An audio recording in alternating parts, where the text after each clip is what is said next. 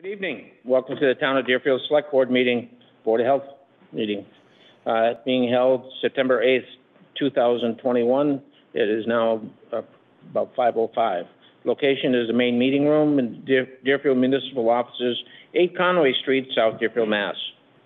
This meeting will be held remotely. Me- meetings normally held at the municipal offices are being held remotely with adequate and alternate means of public access and where required, public participation provided in accordance with the Governor Baker's June sixteenth, twenty twenty-one Act extending certain COVID-nineteen measures adopted during the state of emergency, including an extension of the remote participation provisions of this March twentieth, twenty twenty executive order suspending certain provisions of open meeting law, general law, uh, chapter thirty A, section twenty. Uh,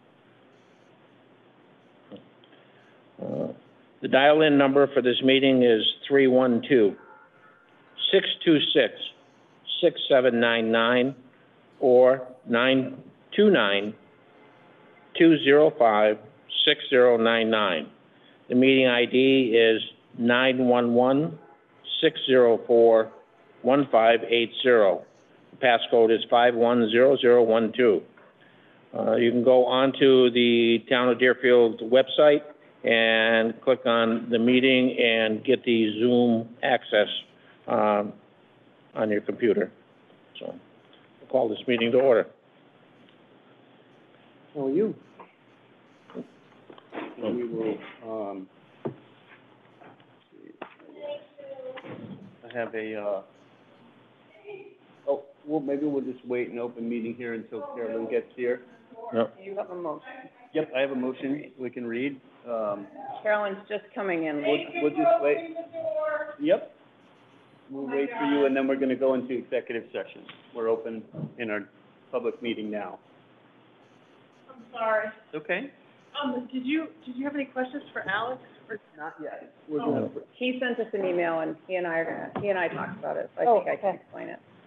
So, um, I'll make a motion for executive session. Um, And I'll second it. thank you. Uh, an open meeting session on the matter of, uh, American Civil Liberties Union Foundation's twenty, uh, June, July twenty-second, twenty twenty-one letter and strategy with respect to highway collective bargaining may have a detrimental effect on the litigation position and on the bargaining position respectively. So, uh, I move the select board enter into executive session in accordance with the provisions of the most, uh, the Massachusetts General Law, Chapter thirty A, Section twenty-one A, three, to review, discuss, and consider the board's response to the American Civil Liberties Union Foundation's, uh, July twenty-second, twenty twenty-one letter regarding the board's public comment period, whereas a discussion on this matter in open session would have a detrimental effect on the board's litigating position, and the chair so declares it. Does the chair? I do. and to reconvene in open session to vote, uh, to approve the same and to discuss strategy with respect to collective bargaining if an open meeting may have a detrimental effect on the bargaining position of the public body, and the chair do- so declares. I do again. Thank you. So roll call vote. Hi, Carolyn Ness. Aye, Trevor McDaniel. Aye, Dave Wolfram.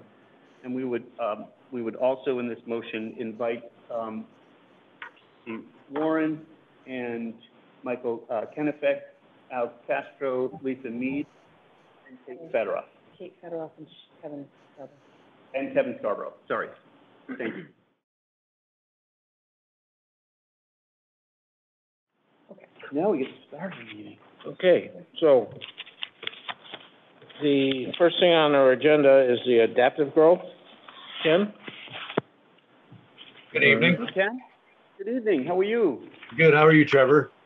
I'm doing good, it's good to see you.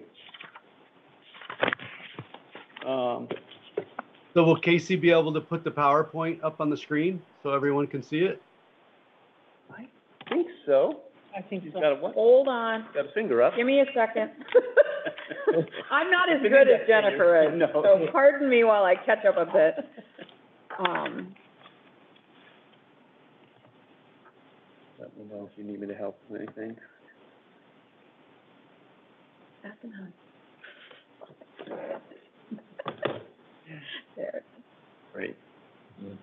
Welcome, Ken. How have you been? Very good, very good. Good. Settling in? Yeah, Good. feels Welcome good to be back. West. Yeah, it's beautiful weather right now too, other Yeah. than hurricanes and flooding rains, but at least today is beautiful. Mm-hmm. the last Okay, couple hold on days. a second while I get back to Zoom and share my screen. Okay.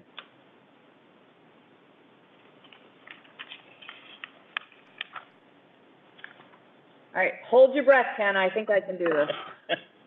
Tell us how you need us to proceed.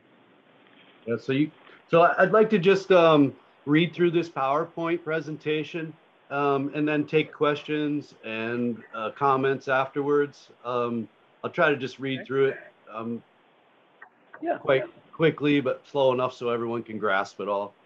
Yeah, tell everyone who you are and what you're doing. Yeah, so my name is Kenneth Boquillan. Um, this is a proposal tonight for our South Deerfield project. Um, Tara Hopper is here with me. She's our, she's my attorney. Um, so the, we have a, our proposed campus, um, in Deerfield. So Sunny Days Cannabis has entered into a land purchase agreement for 28 acres located at Zero Greenfield Road in Deerfield, Mass. Um, this property is within the town designated green zone for legal cannabis cultivation, manufacturing, testing laboratory, and dispensary. Uh, Sunny Days Cannabis intends to build a state-of-the-art campus comprised of a dispensary, a third-party testing laboratory, and eventually three cultivation research buildings. Uh, we'd be starting with a single building in, in the first phase. Okay? So here's a little, just a look at um, the conceptual site plan. Um, Trevor and I have walked this property, looked at this, um, the land, looked at everything, and this was, felt that we, this was our best uh, conceptual site plan. Of course, once we deal with um, the civil engineer and the town, you know, could potentially change slightly, but this is, I think this is pretty close to um, what we'd be looking at. Yeah.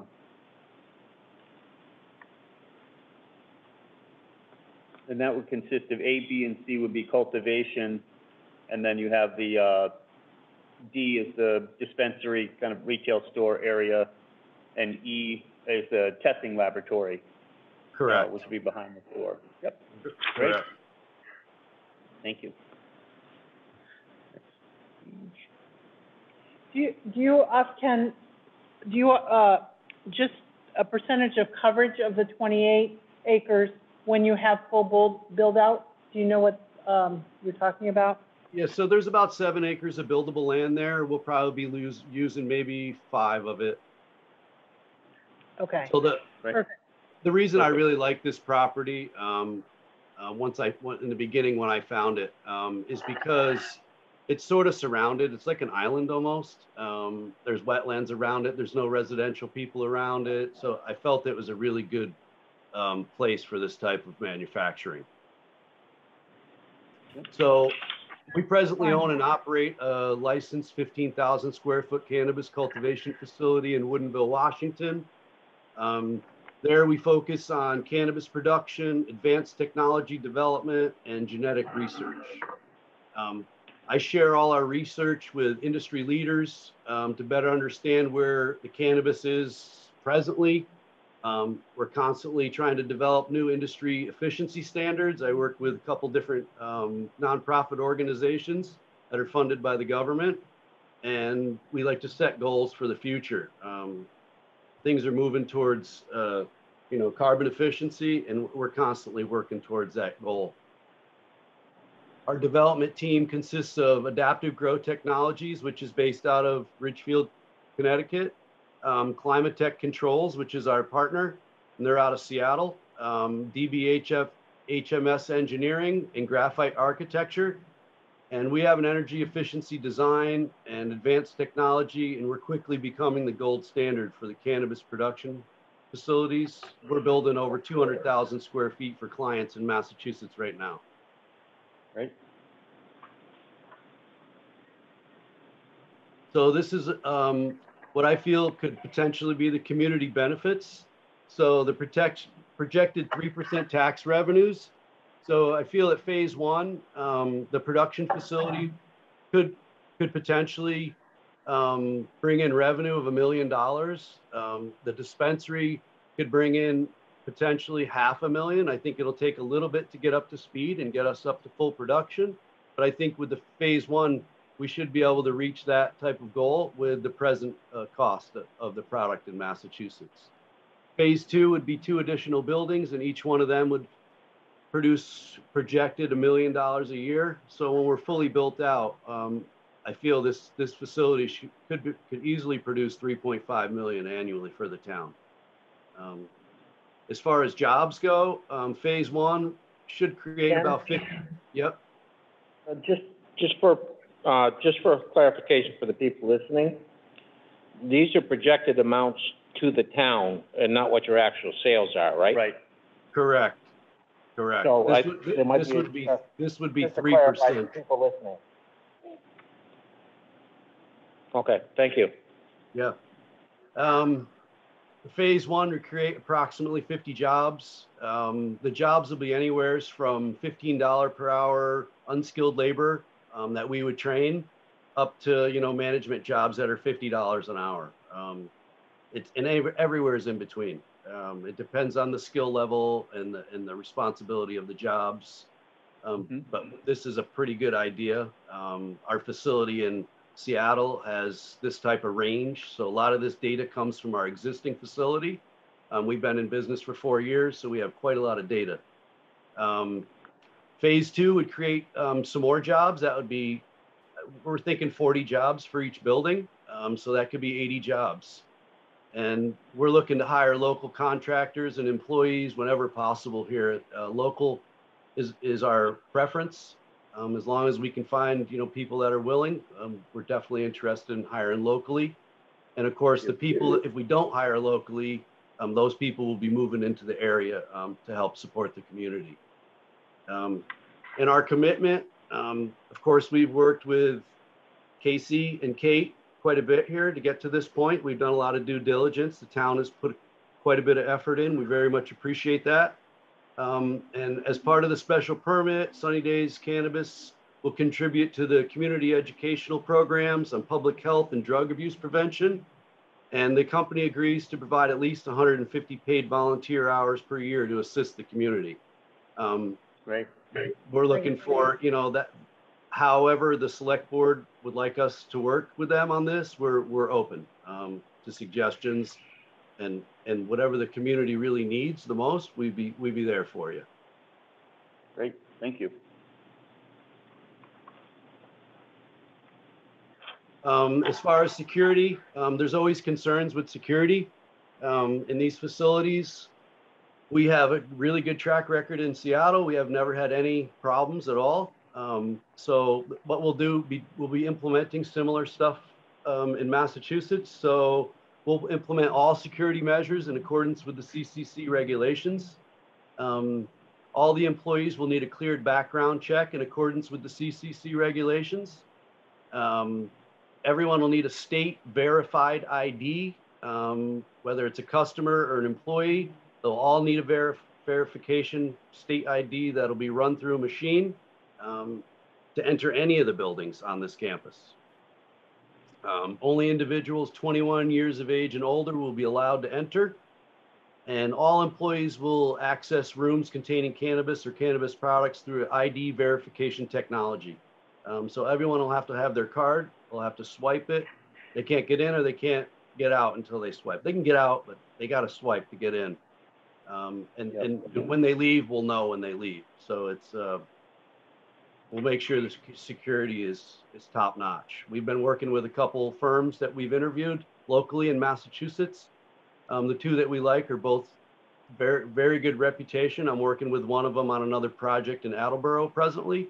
So we haven't picked one yet, but we will get a local security firm to work with us. Right.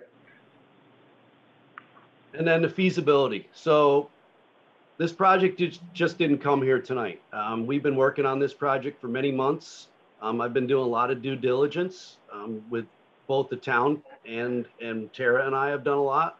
So just to give you a little idea about the feasibility. So spoke extensively with Eversource. They've confirmed that there's enough power needed for this canna- cannabis facility um, right at the corner. Um, so pretty, pretty good deal. There's, a there's a substation down there. They have plenty of power for us. Um, the town's confirmed that the city sewer line is available at the road that we can tap into and use. Um, so that we'd be bringing revenue to the town through, through the sewer system. We'd have to pay for that. Um, that'd be metered and they would know what we're using at all times. Um, the wetlands confirm that this property is buildable. Um, the prop, the, the seven acres in the middle is, is a good piece of property. Um, but they've, they have told us that we need to go through the proper state and town procedures, um, and to get to that point of approval. Um, there's no residential abutters to this property or in the immediate vicinity. There's a couple businesses, um, highway on both sides. The town owns the south end and the veterinarian owns the north end. So I feel this is a pretty good location. There's no residential abutters, so which is, which is very nice. Uh, we won't be uh, bothering anybody. Um, we don't have, we don't really, we won't, we don't have any things that will bother people. Um, um, smell won't be an issue, noise won't be an issue. There'll be neither of those. Um, but still, it's nice to not have to be around residential abutters when you have a manufacturing plant. Um, and there does not seem to be any issue with the traffic on 510, but a traffic study will be provided to the town for review during the special permit process. We'll be having a local company do that, a reputable firm. Um, so, so that's part of our agreement.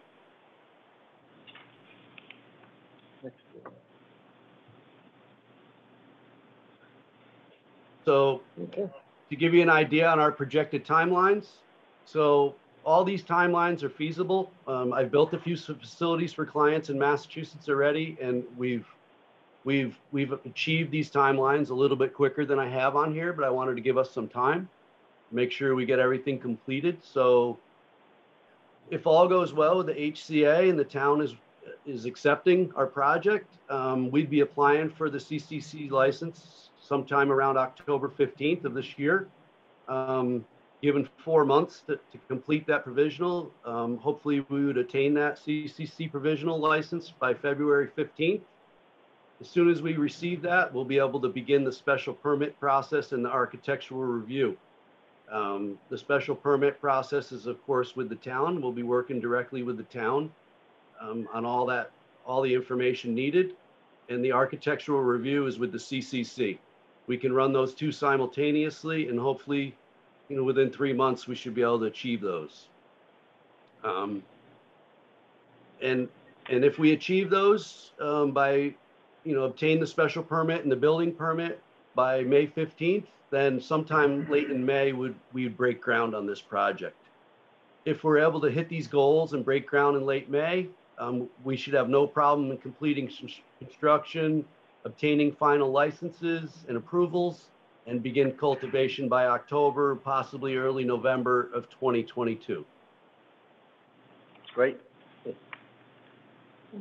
And then if Very this good. host agreement is agreed, or is approved by Sunny, for Sunny Days, um, then we're very much excited to become part of this community, um, and, and start our project. Um, We're, I was born and raised here in the Northeast.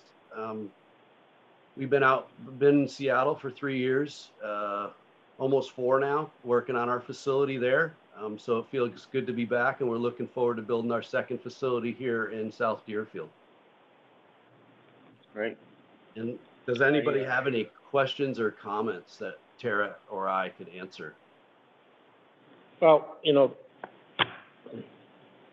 the one thing of concern for me is, you know, Deerfield was very progressive, and we were probably one of the first communities to get approved of cannabis, uh, cultivation in Western Mass. And right now, it seems like we're just about the last ones to get anything here. I've had a lot Uh, we've had a lot of companies come through, there's been funding issues and things like that, that are, you know, of concern.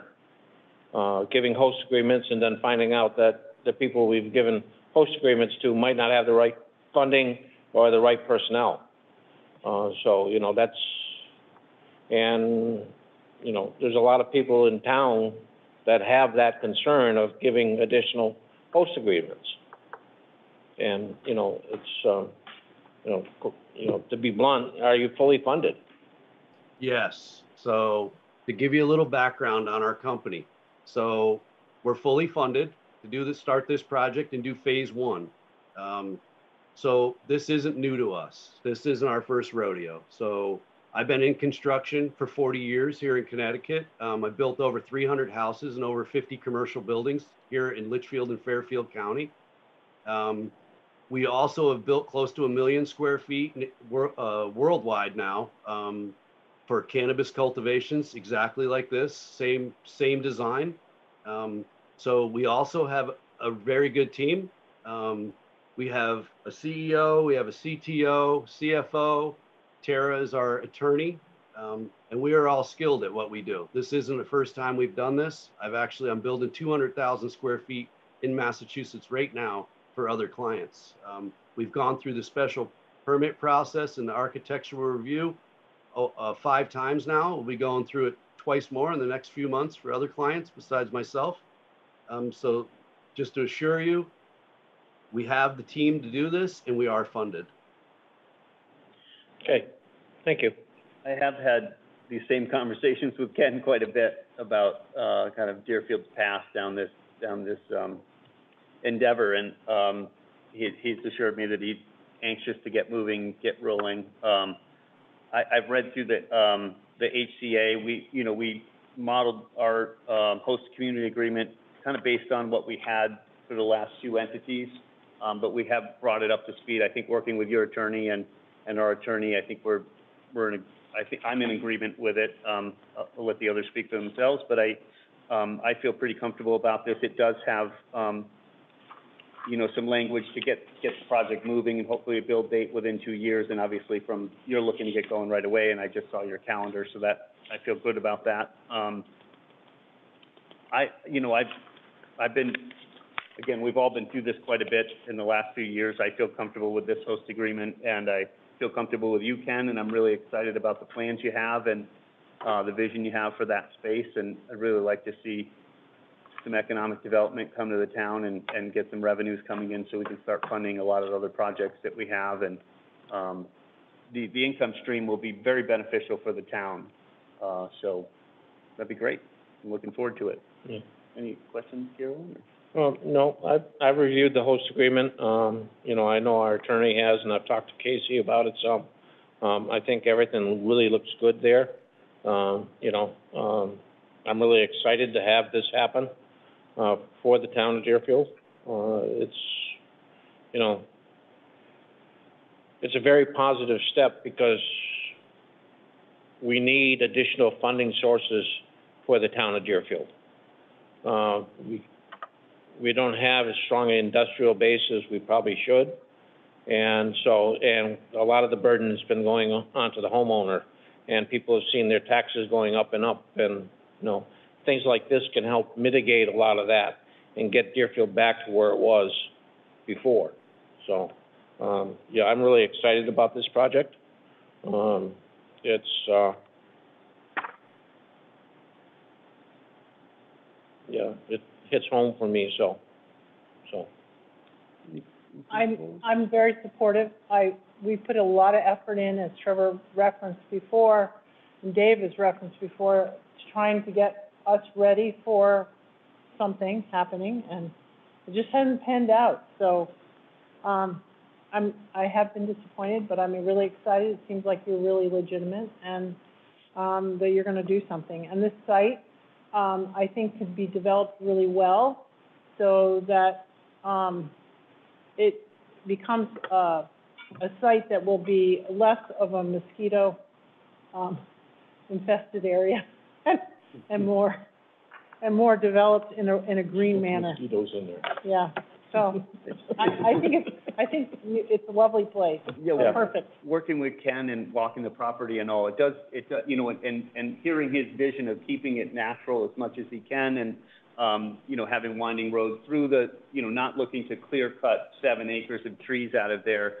you know, spoke a lot to me and I think to this community, that they value, uh, open space and, you know, natural habitat. And I think you, you share that same view and you're looking obviously to, you'll be cutting down trees to put up buildings and all and grow facilities, but a lot of it you tend to keep as much natural as you can with some walking paths and, you know, for your employees and that kind of thing. So, um, I think it will be a good investment of that property. Um, it will be able to manage the water on that property pretty well, and obviously you'll go through all the site plan review and work with the Conservation Commission and, you know, and, and the planning board on all of that. So, uh, I'm, I'm really comfortable, and I'd, I'd make a motion to approve the host community agreement between the town of Deerfield, Massachusetts, and Sunny Days LLC, I will second that. uh, on, uh, made on this day, September ninth, excuse me, September eighth, twenty twenty-one. Any further discussion? All those in favor? I, Trevor McDaniel, I, Carolyn Ness. Aye, Dave Wolfram. So, thank you, Ken. step one for you, Ken. Thank you. Congratulations. Thank you very much. Yeah, we, we very much, Tara and I very much appreciate all the work that the town has put into this. We look forward to coming to your community, being part of your community, and, and building a nice facility. Um, I'd just like to leave on one note. So, of course, the, cons- the, the production facilities will be a, a engineered, uh, single-story building. Um, but as far as the dispensary, um, we're very, we're very much willing to work with the town. Um, whatever type of look they want in that building, whether they want a, an old barn look or, I'm not sure what, what the town really wants. Um, every town's looking for something different. Some want to keep it original look, some want a modern look. I know across the street, there's a pretty modern building over there. Um, but we're very much open. So as this process goes along, I'd like some feedback from the town members to understand a little more about what you'd like to see the only real building you'll be seeing from the road is probably the dispensary. You might see a little Yeah. bit of a testing lab off to the side, but uh, really just looking for some feedback and we'll build the kind of building that um, the town is really looking, look for on that space. You know, I assume you're gonna get a fair amount of feedback from the, uh, site plan review from the planning board, uh, and exactly what they'd like to see. Um, that's an, another electric board within the town. Um, I know you've already have plans to talk with the folks, but the, uh, the- you know, that's part of the site plan review, is those type of conditions and looking at things, I so. think you'll, good partners there. I think you'll Yep. really enjoy working with I them. know we're really interested in dragonfly habitat, so Wow. there, so that would be good. Okay, Okay. thank you. So, thank you very much for your time, everyone, tonight. Thank you. Okay. Thank you very much. Thank you. Have a great night. Bye-bye. So we'll get a signed copy. You want me to sign this one or when he signs? Perfect. Great. All right. Moving on. Okay, uh, next thing on our agenda is, uh, uh, Kimberly, about the uh, funding of the FRCOG watershed-based plan for Bloody Brook. Hi, Hi, Kimberly. um, th- thanks for having me tonight.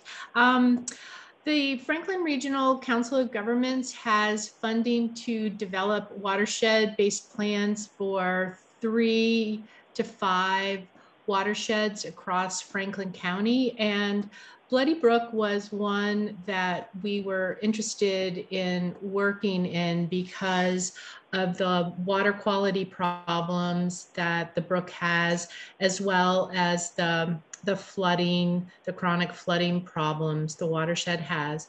So the development of these watershed-based plans, once they're approved by the DEP, the Department of Environmental Protection, it makes the um, community eligible for the DEP's 319 grant program. So that grant program is a nice fit with um, for projects like stormwater management, for example, or um, bank stabilization projects. You can also use that grant funding for to help fund projects that are identified through your MVP um, planning work that you've been doing. So this um, project, this development of the watershed-based plan would be done at no cost to the town because FRCOG has the funding already in hand. But what we would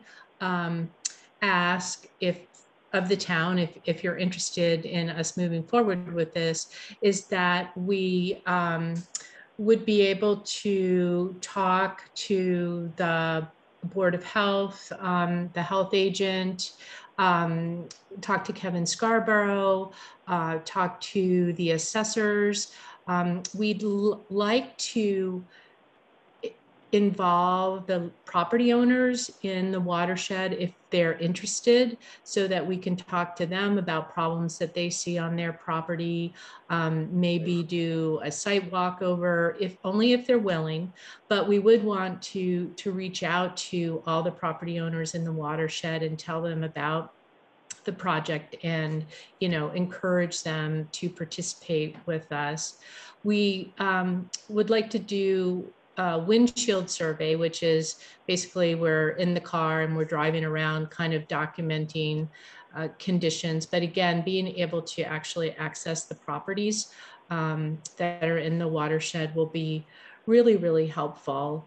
And um, we feel, you know, that uh, Deerfield has been working, you know, quite successfully for a number of years now through the MVP program. You just had all the culverts inventoried, which um, this work would build upon.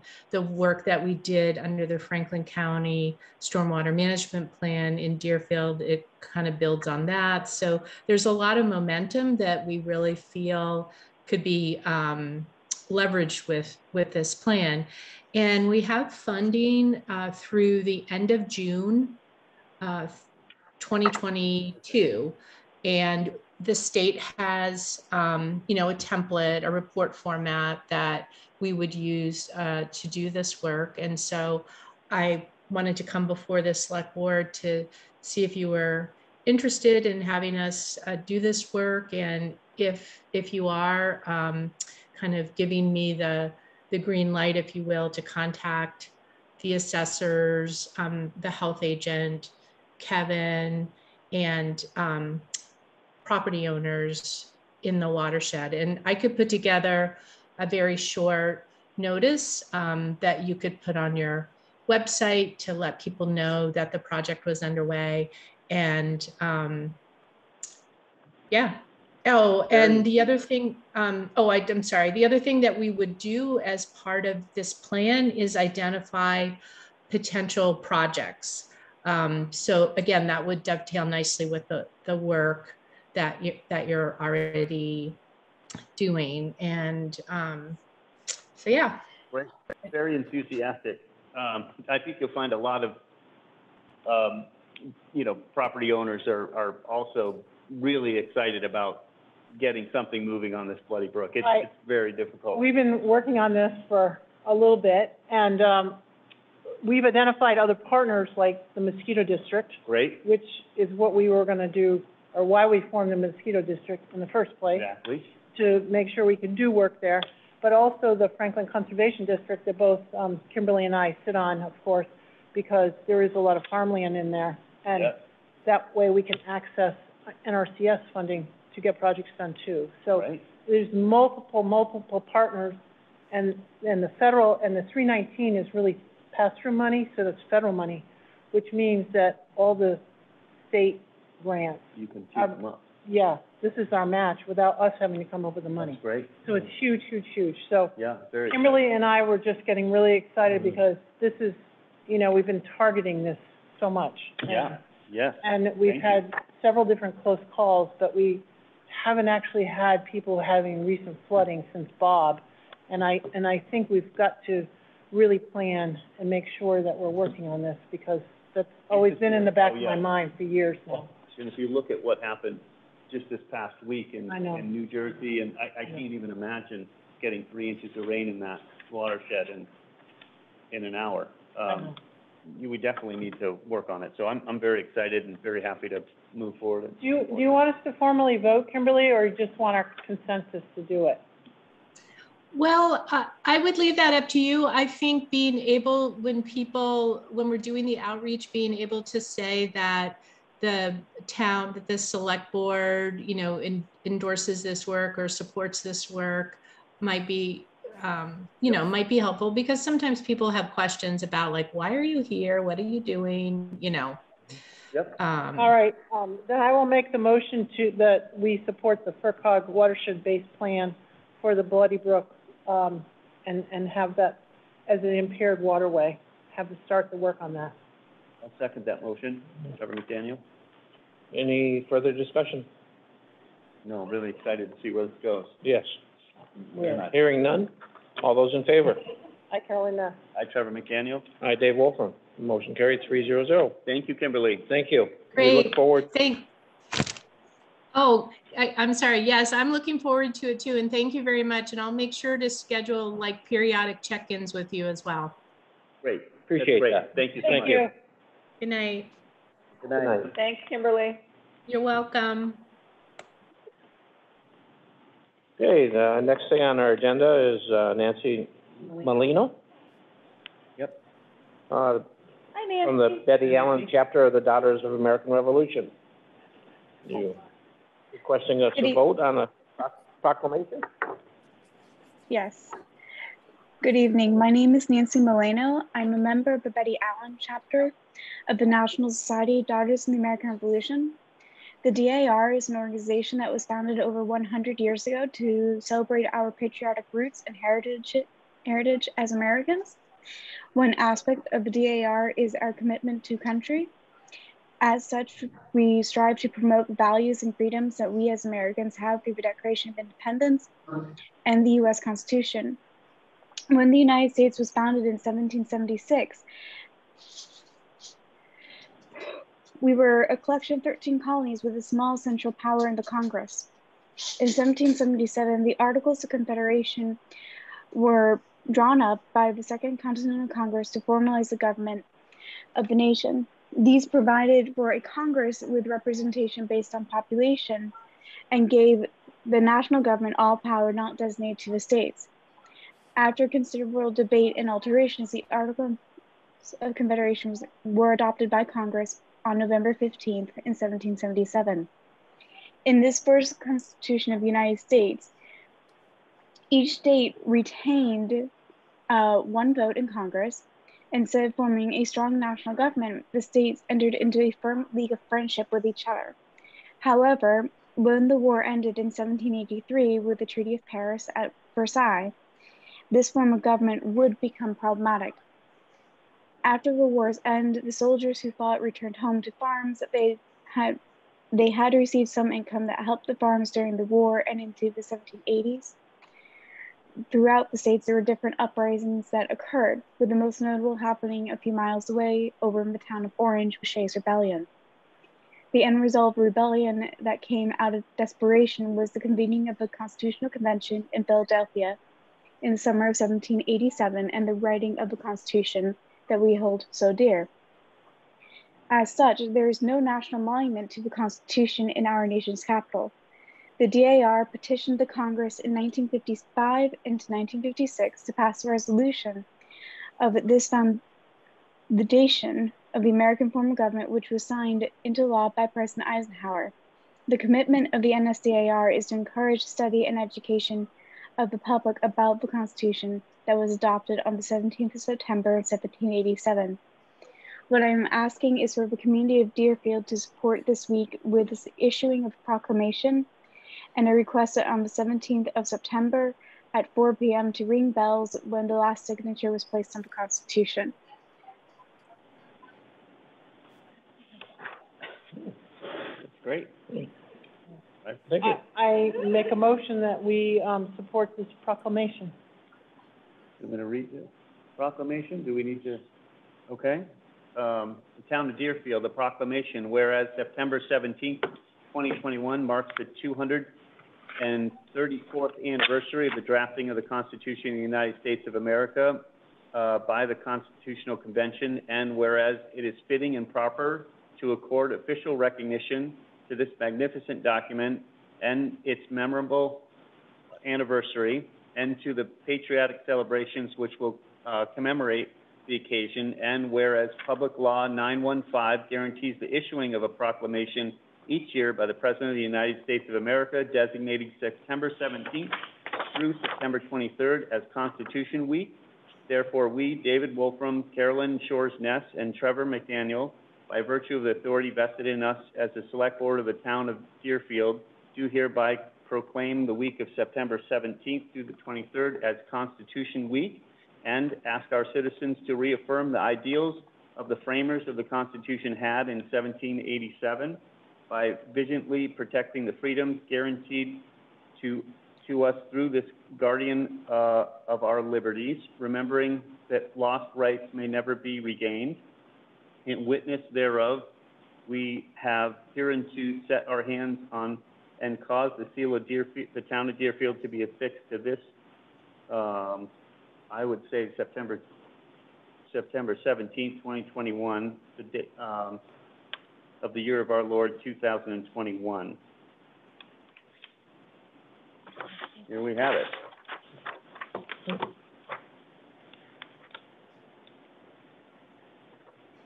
Okay, Good. motion's made and seconded. I'm gonna have to borrow your pen. Hmm. Your green pen.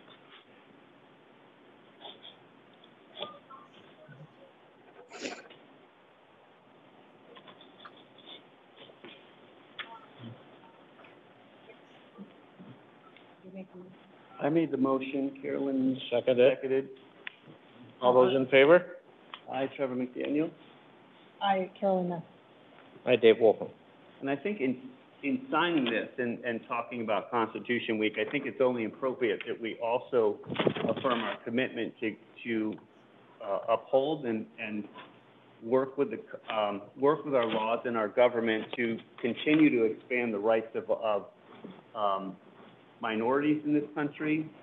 Um, you know, we've gone through a really rough year and a half, I guess, with COVID and racial strife in this country, and I think it's really important to continue that work of, um, of moving our, our country forward, not just based on the values of seventeen eighty-seven, but, you know, the values we hold today. Um, you know, the document has changed over, over many years by adding different amendments, um, to bring more rights to those that are, um, that have been oppressed, you know, uh, throughout our history, and I think it's important to continue that work and not just enshrined in what was done then, but to continue the work going forward. It is extremely important to do so, and the Constitution is not just a dead document; it's a living document. It's always changing, and it's something that by this proclam by this week and by proclaiming it, it's supporting and showing very much that it's live and it's modern and still relevant in this day and age. Thank you. Yes, I want to thank you for making the effort to do this. yep, very great. Do you have a photo somewhere? You can take a picture? I'm gonna take your picture. Oh my gosh, we're gonna take our picture. Go ahead, go ahead. All right, here, I'll, we'll just, we'll just roll, we'll roll David over, here, roll him over here. I'll stand. We're gonna roll over here. We need a frame for this. Yeah, we've been framed more than once. Thank you. I, al- I also dropped off a hard copy in the Dropbox earlier this afternoon. Oh, And I can't get to it, so I had them sign something. I'll see if I can get to it tomorrow We morning. could sign Nancy. again. I don't have the key. And I got the Okay. email right after everybody left. I'm like, ah. Thank you. Well, I, I could, my timing was off because I, ha- I drive through Deerfield as I go down to Westfield because I'm doing some training down in Westfield to be a, a history teacher, and it's just my timing was off, and I missed dropping it off the past two days No. at the town hall, and so I just put it in the Dropbox, and the suggestion I was given was, oh, why don't you just stick it in the recorder tube? And I looked at um, the other person in the car. I was like, yeah, no, I don't trust the recorder delivered to not smash it. Having delivered the recorder to the town hall for two years. Aha. So I may have Thank to you, circle Nancy. back around with you about that No tomorrow, worries. Nancy. Thank you. Thank you so much. Have a good night. You're welcome. You too. Thank you. Okay, next thing on our agenda is, uh, Chris Curtis for conservation work, MVP consulting contract for approval. Is Chris on the phone? I mean, where is he? Chris is, There he Hi, can you hear me okay? Yes. All right, I want to just uh, mention that I've been um, losing my connection um, fairly regularly, and it comes back up in about five or 10 seconds. So if- if I lose you, um, I guess I'll be back shortly. Um, Okay. I asked to come um, before the board this evening to make a brief presentation on our next round um, MVP grant. Um, I had watched the recording of the August 25th meeting where this um, was discussed uh, the last time. And there were, seemed that there was like a fair amount of um, confusion and, and um, incorrect information about the project and the scope. So I wanted to just kind of set the record straight on a, on a few things. Okay. Um, So just some, some brief background on, on MVP and this project. Um, As you know, I've, I've been working for the town now for five years um, on MVP projects and have successfully written and secured five different MVP grants for the town that total um, $1.3 million um, worth of funding. And those grants have uh, brought in a, a lot of things to the town, but if you look at, at just the savings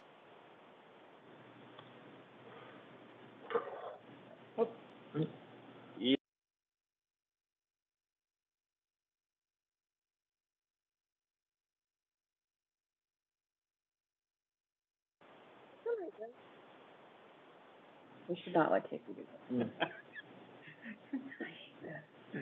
But he's, Chris? he's there, but he, he's muted at the moment. Chris, you're muted.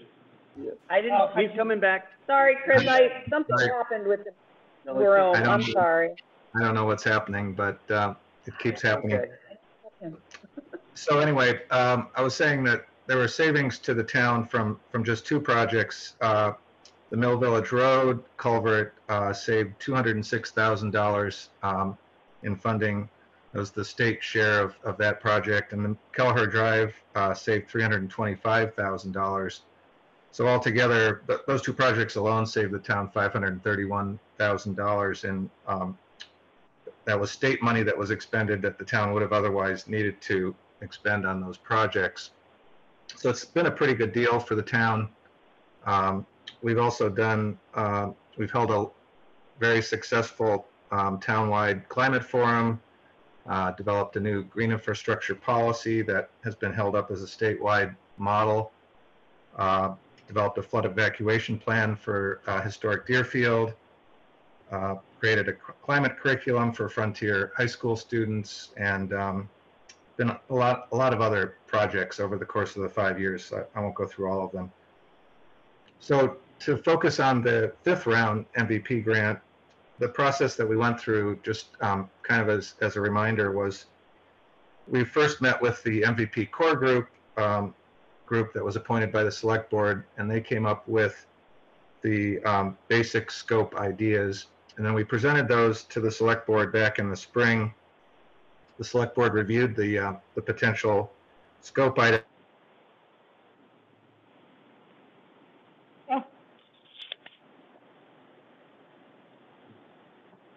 Let's for it to be in person. Lost him.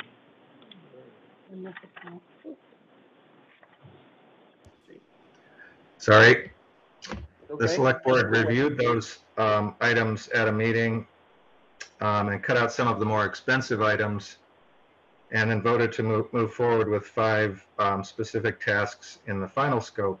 And so the tasks in the grant um, are that, uh, number one, we would work with the town's new Green Infrastructure Committee uh, to continue to coordinate meetings, uh, to do project reviews, and to generally implement the policy, which includes looking at um, new funding sources and grants and so forth to try to do um, green infrastructure projects in the town.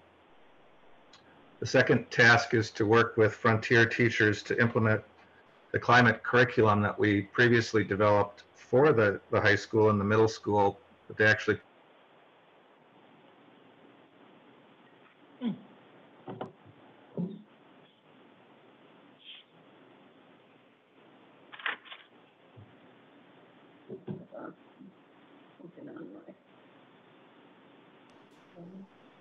I'm back again.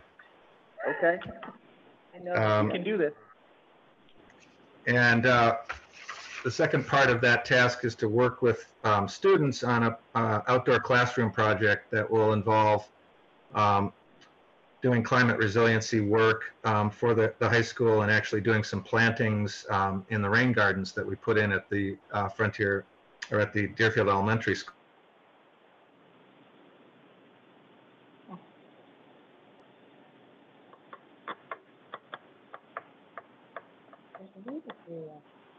Maybe we can just have them come down. Or maybe make a phone call. Could do it, there's a combo They phone can call you in do, to the yeah. meeting instead Okay. of doing the Zoom. It might be better if you called in to the phone. I- I'm doing that now, Trevor. Yeah. Okay, that might be easier because the, the Zoom just isn't working.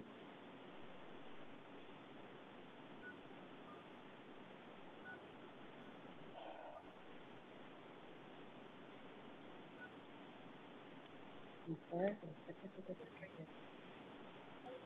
Not a Just a blanket apology because it happens every, you know, Well, no, nothing you it's can do. breakout rooms are harder for me Oh. than they are for Jennifer, so, Wow, no. and she had a family All thing. this technology is difficult.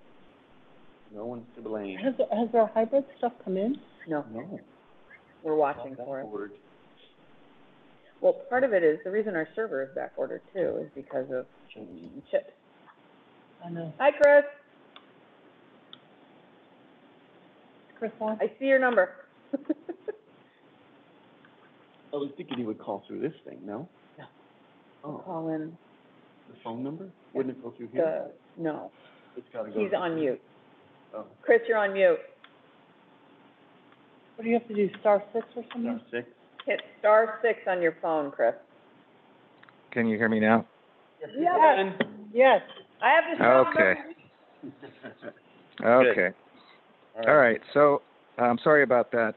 That's Um, okay. Continuing on with the, uh, with the scope, the third task is the uh, Healthy Soils Demonstration Project, which would be um, done with a second consultant um, collaboratively. Uh, They are called Regenerative Design Group, um, located in Green- Greenfield. Um, This has been one of Carolyn's um, pet projects, um, and the project would inc- in- involve analyzing and mapping the town's soils um, and identifying those soils that are the most important for carbon sequestration um, in town. Then developing strategies for protecting those soils. Um, and then lastly, working with selected farmers that have uh, volunteered and, and a school to do a demonstration project uh, for healthy soils management. And then lastly, to coordinate a series of, of outreach events um, that um, would get this information out to other farmers and other landowners in the town.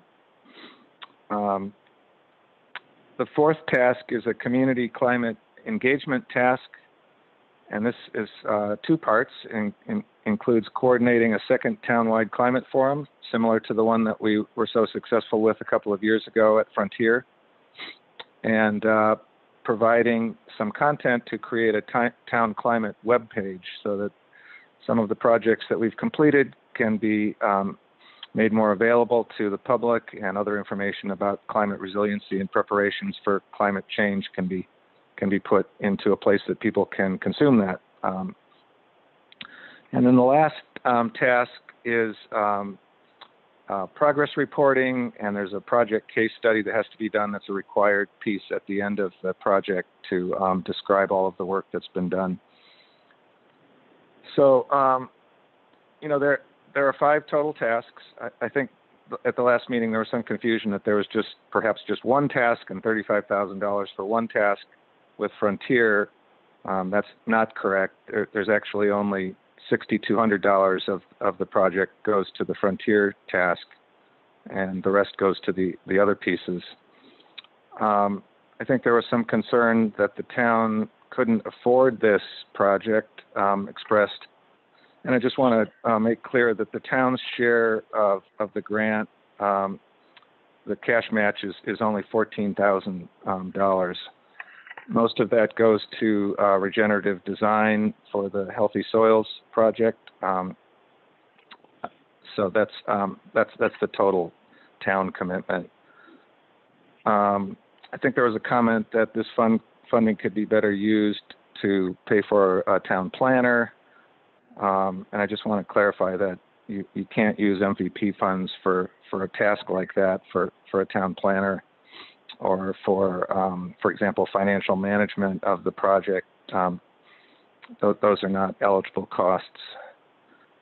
Um, so I just wanted to try to address some of those concerns and, and uh, I want to thank you for the opportunity to present the information. I hope that I've provided some clarity and you can, you can make a, a, a better decision. Uh, happy to answer any questions that you might have. So I was looking at, um, you know, last time we had a full accountability of the tasks, right, that we were looking at, and, and, and the, you know, I was just struggling with the cost, um, that, you know, just looking at the cost that we have spent in the last couple, I guess where the comment came from about a planner is I, I understand that a planner wouldn't be implementing the MVP grants, and I, I, I don't, not to take anything away, I, you've done a lot of good work over the year, uh, five years on getting us to these, this place in Deerfield, um, and, and implementing the grants. I think, I think what I was hearing was a lot of frustration with the way we were wrapping up the work on the last grant. And it was an immense amount of frustration in town hall and how this all got put together.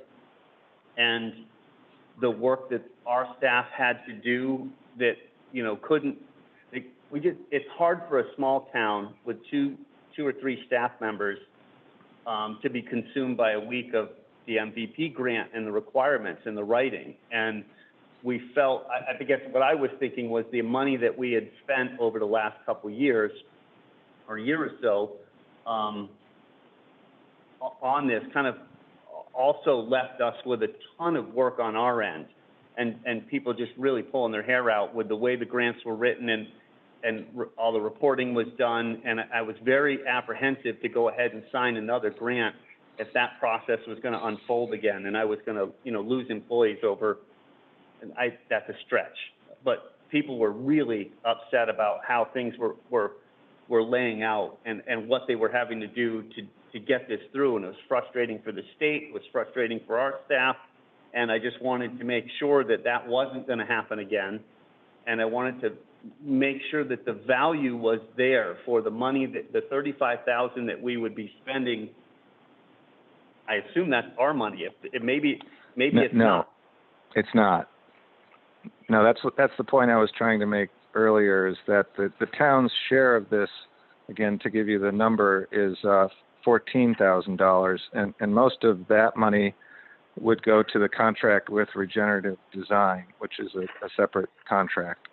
So, and I guess that's what was missing from this list was what was town's money and what was grant money getting paid to consultants? Because we saw, you know, there was, um, I think for the, for the Frontier, um, I, I saw a bill or like sixteen thousand dollars to, maybe it was the Healthy Soils Action, um, was sixteen thousand was going to Regenerative and ten thousand to the MVP consultant. So that was, you know, twenty-six thousand dollars. So I was wondering what the ten thousand dollars was for if the Regenerative Design Group was doing the work.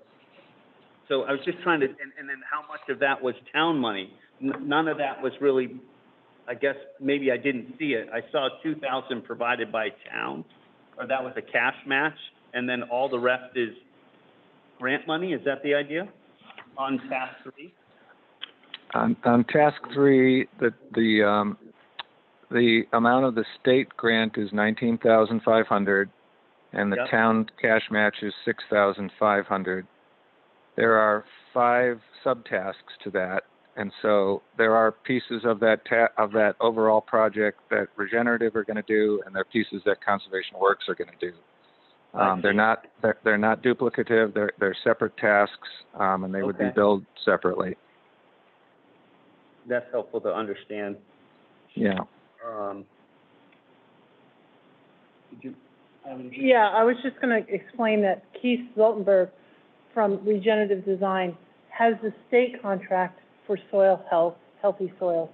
And so, and I'm on the state commission, and I'm on the subcommittee that is supposed to be implementing the state soil, healthy soils program, which was funded in this last budget year.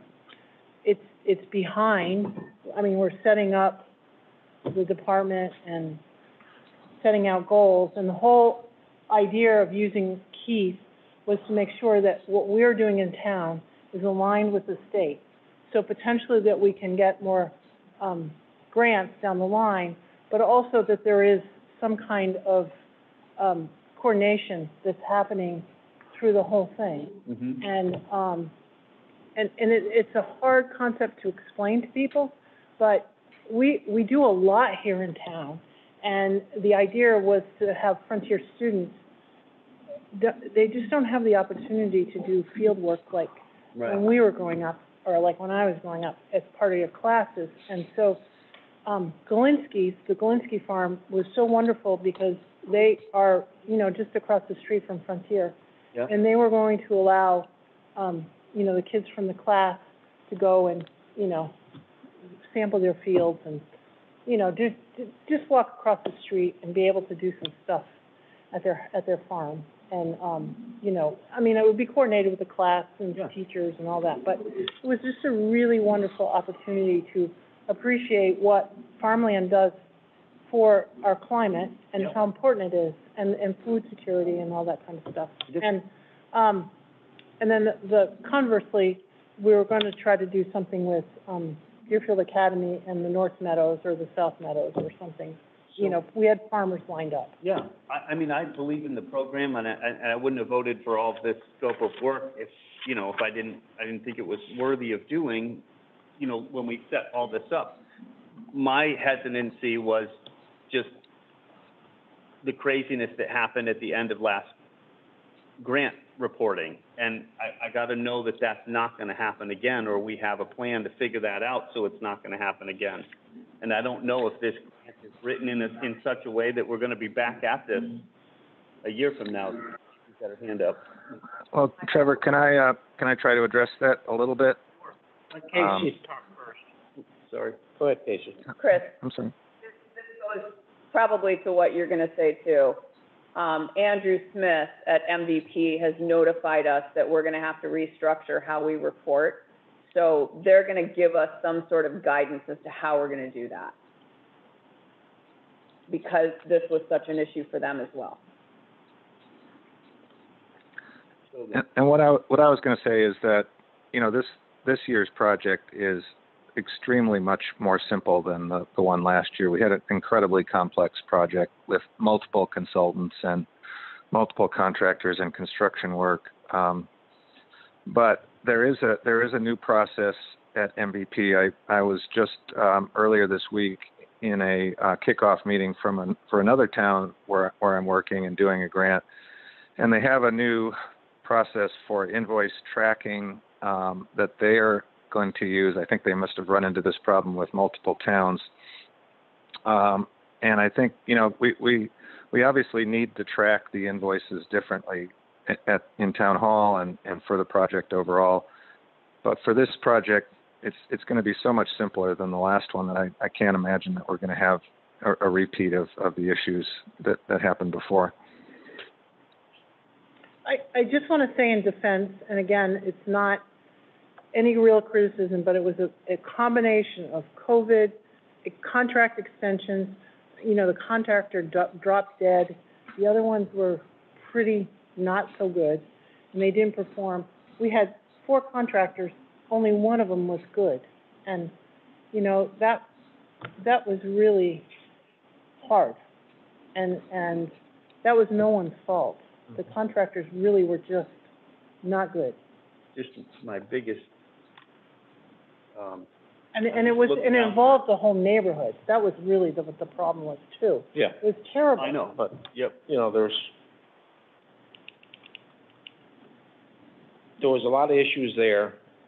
There was also a lot of issues with the way a lot of the paperwork was handled, so it put a lot of stress on a lot of people.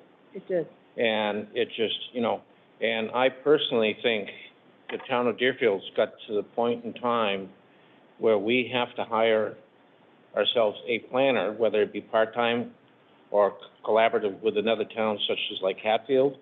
Agreed. And somebody, hire somebody that is able to write grants. And both these individuals would be basically employees for the town of Deerfield and accountable to there, and they'd be able to do all the support work that goes with everything. You know, we, if nothing else, over the last couple of years, the fiascos we got with the planning board and the ZBA shows that we need a planner that understands these things and can consult with these people to make sure that we're doing things correctly. Um, it's just, you know, um, and, you know, I know people are gonna say, well, we don't have the money for it. I, in my mind, You don't have the money not. we don't have the money not to. And, you know, we're getting closer to getting the solar on the landfill. Mhm. Uh, we just had the, the, um, host agreement with the marijuana. Uh, these two things come together, that's more than gonna help us pay, offset some of this cost. Because right now, you know, Staff can't. do it. the staffing we have in this town to handle everything that's going on is solely inadequate. Mhm. You know, granted, we don't have the space here for a lot of different offices, but I think we've got to try to think of things, start thinking outside the box and doing things. I don't care if we have to throw petitions in here Yeah. and Gotta put, find a put way. people, uh, but, you know, we've gotta do something. We gotta keep on going forward. We can't keep on doing things the way we've been doing it in the past, because it's just, I mean, let's face it, over the last two years, I've never seen this town as divided as it is right now. And mainly, that has happened because of poor planning. Well, we can, we can do a better job. Yeah, sure. We And I can, think, uh, and it's, and you know, I'm not saying, you know, it's the select board not planning, or the planning board not planning, ZBA, or anything like that. It's just that we don't have somebody really looking at that whole picture that we should have. You know, let's face it, we're part-time employees, Right. and everybody else, other than, you know, Casey's office, the town clerk's office, uh, we- are full-time, you know, but we're part-time. We need somebody that can spend more time and get more focused. Uh, because, you know, there's a lot of things that are gonna be happening in Deerfield. You know, we're gonna be talking about the entertainment, municipal overlay and stuff like that. All those things, we need a planner to help us with. Mm-hmm. And I think. And we also need somebody that we can hire, that there's a lot of grants out there that we're just not getting because we're just not, don't have anybody that's focused on it. I mean, sure. And I think the planning board is also leaning that way of looking for that support, looking I for do. that coordination, and, and I know that, And, you know, I- I- The planning board should have support. yeah. we And, want- you know- And, but I know that our staff is just cannot, and, the- the and I'm, bandwidth is and I'm just looking not at there. that support. And, you know, I also kind of a believer that, you know, when things are coming up with our planning board or ZBA, our building commissioner should probably be at the meetings. Yep. Um, Agreed. and just, I'm on it. just, you know, rearrange his time frame so some of that can happen, but, you know, that's, I know that wasn't originally part of his job. It was support of those two boards, but, you know, we've gotta have more support because, you know, Well, we have the big projects that we're trying to do. you know, Um, Connected Community Initiative, that we just came up with that name, yep, but we need to pull the Commons group together, the, yep. yeah, the Leary Lot Project, the senior housing, there's all kinds of stuff that needs Yeah. to be pulled together. I agree with that. this is a beautiful community that we have. And we've got to make sure we keep on enhancing it and not pedaling backwards. And, you know, um, you know, and I know the MVP grants have done wonders for us over the years. Um, and, but, you know, you know, the last year, there was so many different factors that caused problems for us. But it's, you know, I think we're getting to the point where we're getting past that consultant and getting into an employee at some point in time. That's just my opinion on it, so Well, if we do some of the projects that we're gonna have downtown, we have to. we have to, Mhm. Because there's just nobody that can marshal the you know, you know, it's, oversight So, too. for this particular project, I, I mean, if I can be assured that we are not gonna burden our staff with more craziness, and we can make this thing happen, I would support it, because I do This believe in it. isn't, this isn't Yeah. construction, so I feel more comfortable with this. No, But it's just, This will give still us a is- break. is Chris gonna handle the reporting on it? Or is he gonna be handing it off to the, the town? So, Well, I think Chris will be doing it. Well, let's get an answer on that. I've asked. So, so under, under the contract, my responsibility has, has always been to do the monthly progress reports and the final report for the, for the project, and, and I've, I've done those, um, every month. I have never been late with them. Um, and, the and the reports have all been accepted by the state. The financial m- management of the project is not something that the consultant can do. You know, I, I don't, I don't see the invoices coming in from other contractors and, and consultants. Um, so there has to be a tracking system set up in town hall to do that. And I think, you know, I can promise you that I'll, you know, I'll sit down with Casey and we'll work something out to, uh, to make sure that happens and it, and it's set up in advance of the, the project, um, you know, billing cycles. Kickoff meeting, you mean? Well, it, we would have to set something up prior to the kickoff, and it has to be coordinated through the town accountant. So I haven't, I did put a call in to Andrew, Chris, but he hasn't called me back about a new invoicing tracking system, so I'll have to touch base with him about that. But he and I had talked about it a couple weeks ago when we were finalizing things. So he's already told me that's gonna have to happen, and I have a, I've already talked to the accountant about how we can do that. So I think we can manage that, um, because we'll set things up within our own accounting system so we can segregate invoices for tasks. Um, the thing that's difficult is some of the requirements on, the MVP side, I think they may have relaxed task reimbursement requests, so that's a coordination we'll have to work through with Andrew. Yeah, and I, and I think we should invite Andrew to, you know, a kickoff meeting to, to make sure we go through all of those, um, requirements. And, you know, he did, um, he did that the last time, but I think we didn't really talk about financial management. Um, so I, I think there is a, a new invoice tracking, um, approach that they've come up with that everybody has to comply with now. And I, I got, you know, some, some view of that at, at a previous meeting. I just gotta know that it's, it's gonna get handled for the money that we're spending. Who get him? It will? Who else is gonna handle it? Well, that's what I mean, I don't it wanna will get handled. lose somebody over it. You know, I mean, I, I, I'd write the program off and, and there's a million other things to do. But Well, I, there are a million other things to do, but I think we can coordinate that. It's just, there needs to be some commitment.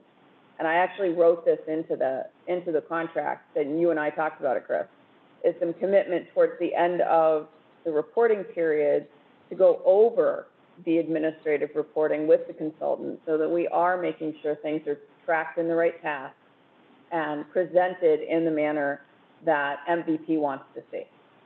So I had written Yeah. that in, in the scope of work section of the contract, if you recall. Okay, well, that makes sense to me. okay,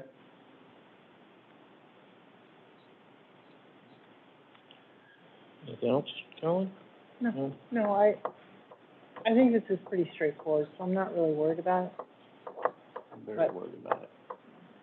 I, Yeah, this is I just- simple compared to, Well, this is a lot simpler, but, you know, here again, it's just like, you know, More we, tasks and stuff. we, we just gotta keep moving forward and, you know, Grants are not free. huh? No, they are Grants not free. That's No. what everybody needs to remember, is the grant administration, the backbone of grant management is where it's time consuming for the staff. Yes. And it's not just me, it's all the staff that are involved, Right. including Chris. And Chris spends an inordinate amount of time communicating with here again, it's- I give him credit for that. He I- does all those reports. I don't wanna try to degrade anything that Chris has done for the town, because No. he's done wonderful work for the town.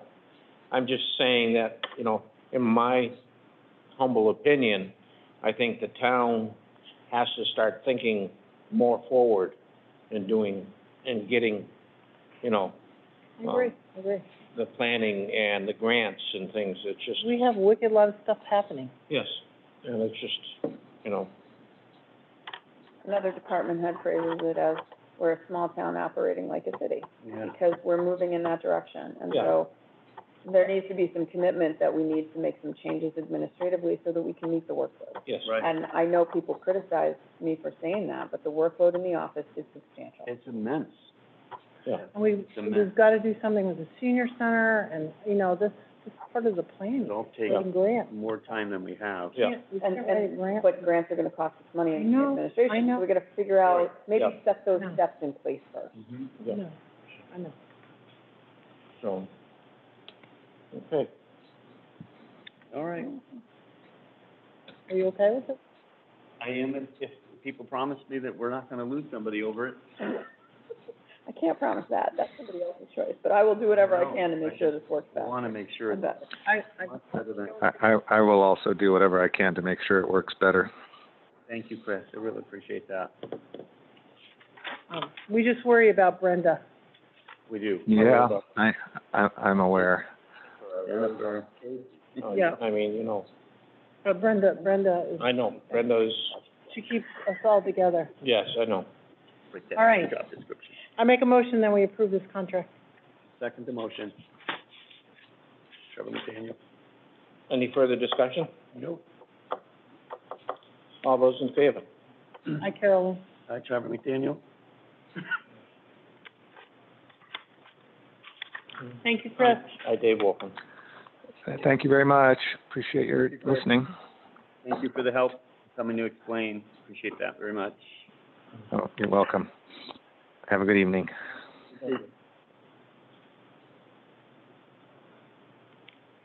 All right, Okay. scheduled hearings.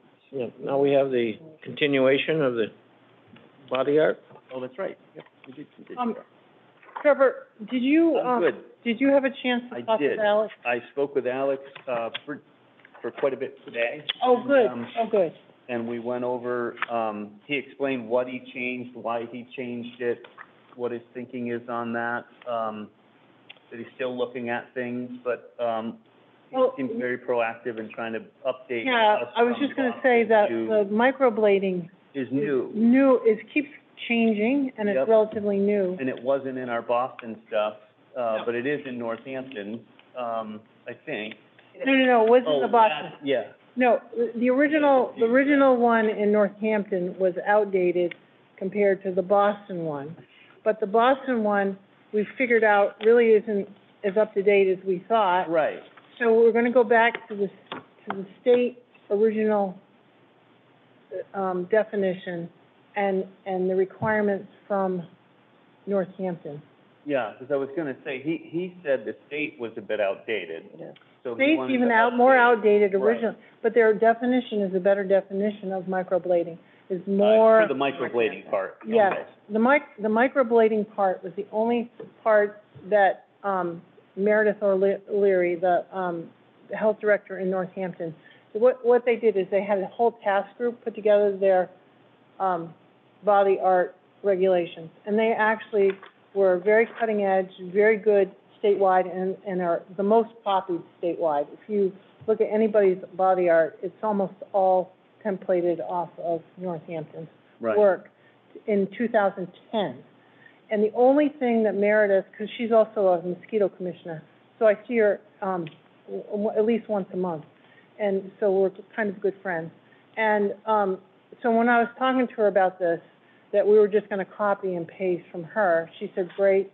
The only thing that they have changed since two thousand ten, and they've been still fiddling with it, is the microblading, because that It's is- changing its it's practice. changing and it's new and, Mm-hmm, and they keep, and the microblading is like, uh, you know, your eyebrows, uh, which is different defining. yeah. than you're doing the eyeliner along the eye, eye, Right. which is your like most stringent thing is what you want. But the microblading is a little bit more loose because you're just Yeah. literally tattooing on someone's eyebrow. Right, Potentially. correct. But, you know, the, you, you got your guest, um, tattoo artists and th- so that what are you gonna require for them if they do the microblade? And there's all these things. So Alex actually did a lot of He did. research and Yep. called all these communities. yep, And did. we're, so I think what we ended up with is the best currently. And we can, just gonna have to update it. Yeah, no, it, it seems like he'll stay on it, and I, I Yeah. feel pretty good about it, so, yep. So do you want to adopt it then as, as, um, as presented?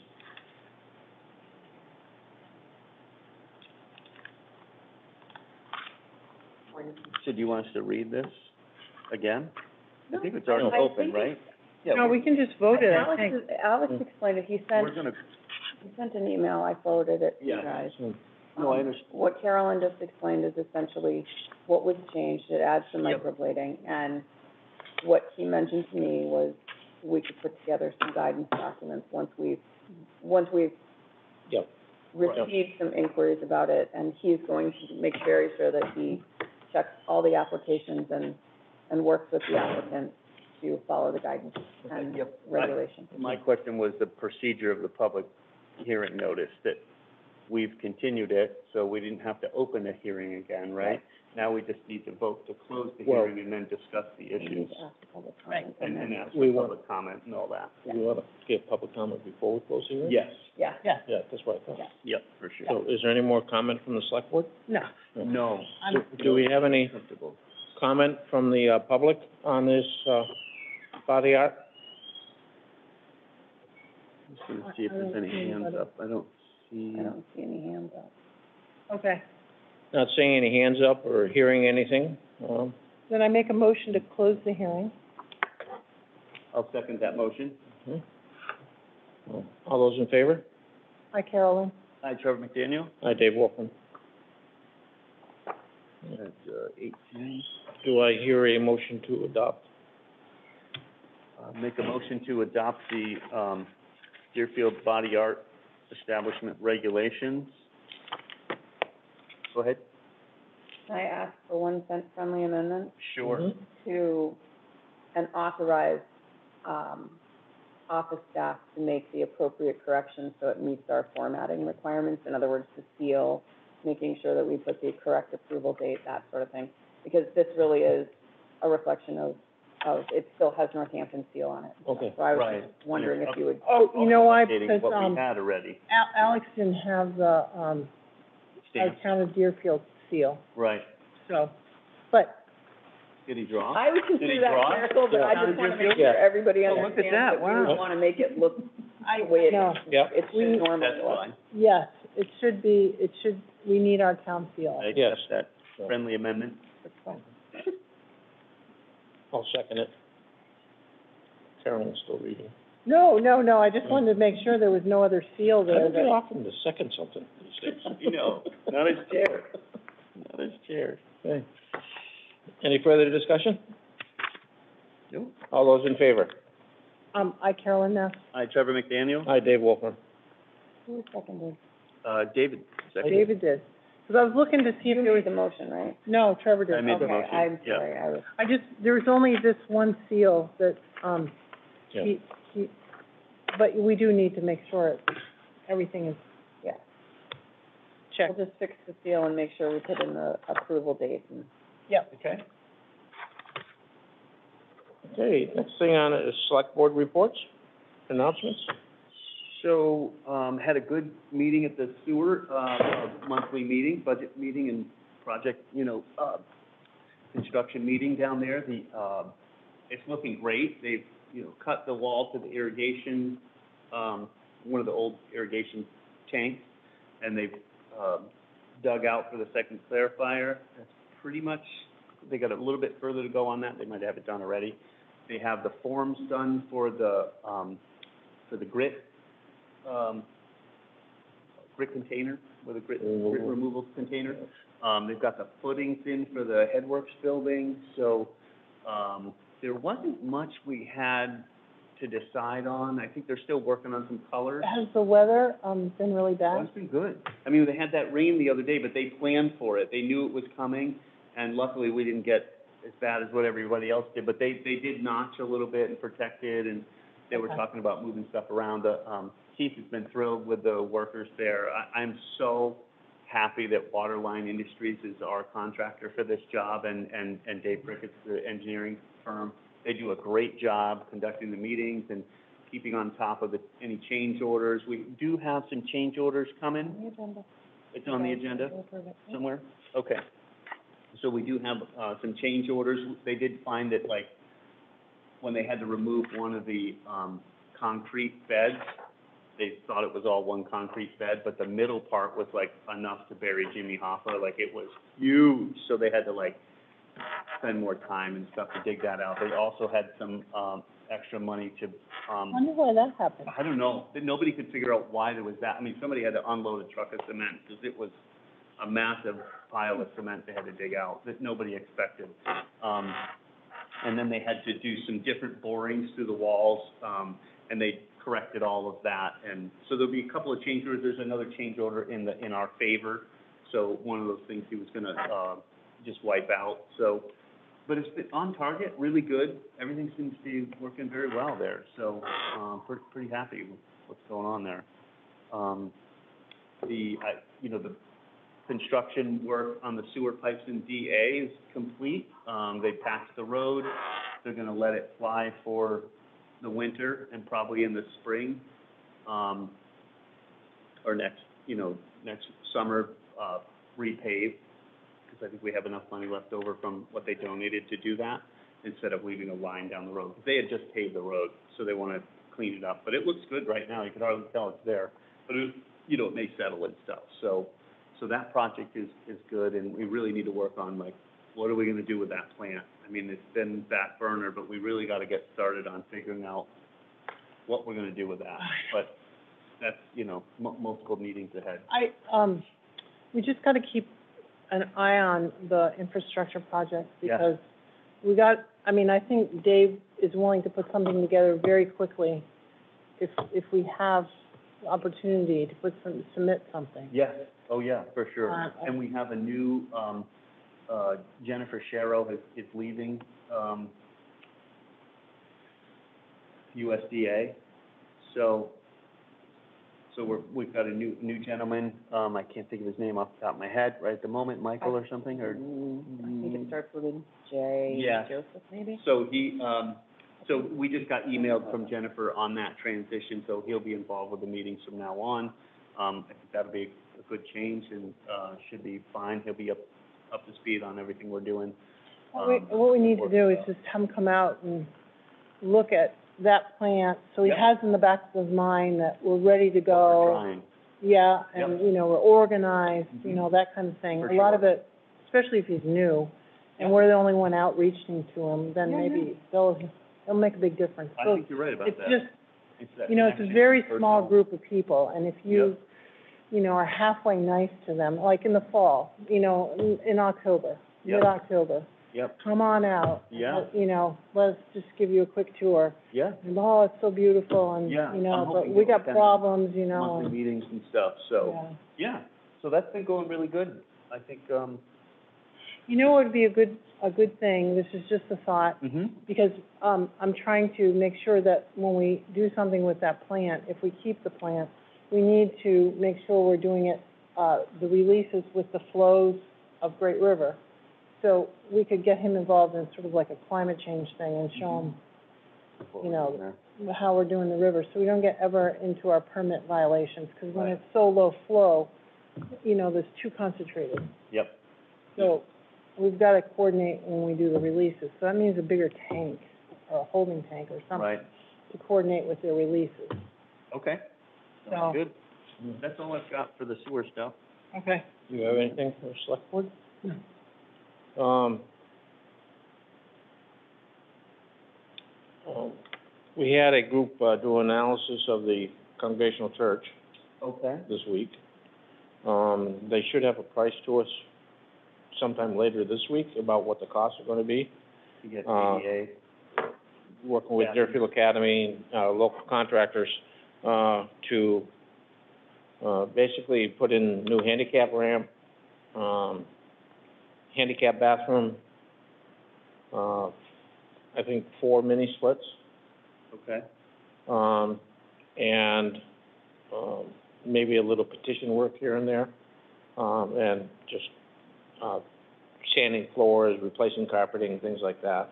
Yeah. the, uh, um, I, I know it's an expenditure, but I, I'm personally think it's an expenditure that we have to make, because I don't really think we're gonna be able to get them back into that building, and we can't have them out in the tent. Right. So, um, um, It could be a the, the building is actually, from the assessment for the people that went in there, is in better shape than what we were told. Good. Uh, the only problem with the building is actually the steeple. And And the the- second floor of the, of the church itself. support of that floor in there. Yeah, so you can't use that second floor of the church, but Yeah. that's, you know, the only time I ever remember that being used, unfortunately, was during my mother's funeral. Oh. But the, uh, um, but, you know, it's a historic building. Um, I'm also working with John, uh, on the feasibility studies for the senior center. Yes. Um, and I know I didn't talk to you folks first, and I probably should have, but, uh, what I want to include with the feasibility study is gutting the old school where the senior center is now, reconstructing it, moving the town hall there and the seniors here. Mhm. So, I, I think that's part of our Which is what connected well. community Right. initiative, yeah. Yep, where we're trying Uh, to draw all We're all one stuff. floor here. Yep. yep. um, it'd be, you know, in some ways easier. Um, and, you know, I just, I just love the facade of that building and the looks of it. the structure, the, the bones of the building The building. bones are good, it's the inside of it that are just cracked, Really needs to be gutted. yeah. Yeah. So, And um, we you put know, a, maybe and some sort of addition on we the can put an top. addition Yeah. onto it for whatever, for meeting rooms or whatever. Uh, but, I mean, these are all things, you know, part of the feasibility study, is it feasible? Right. Um, but, you know, it's just, Okay. These are just kind of, you know, now that I'm awake most of the time instead of asleep during the day. Well, I'd love to have you involved to do it. And it's Yeah, just, uh, it's just, have it. you know, just working, working around it and looking at things and, um, you know, and just, here again, it's just parts of enhancing the town of Deerfield. Um, you know, it's, course, you know, I'm sitting back there and I'm having visions of that being the town hall and what it could be. I thought about that too. Um, only because We've all thought of that. back when Moby Dick was a minnow and I was just a little tot hopper, uh, my grandmother was town accountant and that's where her office was, was over there. Oh, no kidding. And, uh, so, and the town nurse was there. I can remember going to the basement there and getting my polio shot, Wow. so that's how old I am. I still got the mark on my arm, but it's just, you know, these are just things that we're just trying to, Look you know, at. look at, um, you know. I'm getting pretty close to being a senior, so, you know. Thinking You have about to it, answer the survey when it comes out. That's right. Yeah. I know. so, it, uh, it's just, you know, I think, you know, the town has a lot to offer, and I think, you know, we should do, and, you know, um, I know I'll see you. I had John ask Casey to put another article on the warrant about, uh, maybe get there. setting aside some money just for that Okay. right now. Well, Um, we've got Just to to, get, we've got to get going on it. and, you know, even if we spend twenty, thirty thousand dollars, I think it's money well spent right now. Any thoughts on the kitchen? Did they give any ideas on that? Yeah, the kitchen's feasible. Okay. they can Just make take the something gas work. out, put the Yeah. electric in. Perfect. You can't have any grease, so, no, Yep. no pierogies, no kielbasa, Oh, what are we gonna do? so. Uh, we- shut it down. We can microwave it or use the, um, um, those new convection ovens they have. Yep, So sure. you can use all those, you just can't have that open flame Yep. there. And it's just, um, it's very usable. From what I'm told, the refrigerator is an excellent refrigerator. Uh, the dishwasher, I'm not sure about and stuff. Right. Uh, the plumbing for changing the restrooms is not gonna be overly cumbersome because we're gonna leave, well, there's three bathrooms now, we're gonna leave two of them and convert a third. Okay, That's, Great. that's the thought process right at the moment, so, good. It is good. Okay, okay? thank you Thank you very much. for that work. Um, Board of Health? Um, I just want to report that we have steady amount of cases every week. We do. but there is no community transmission as far as we can tell.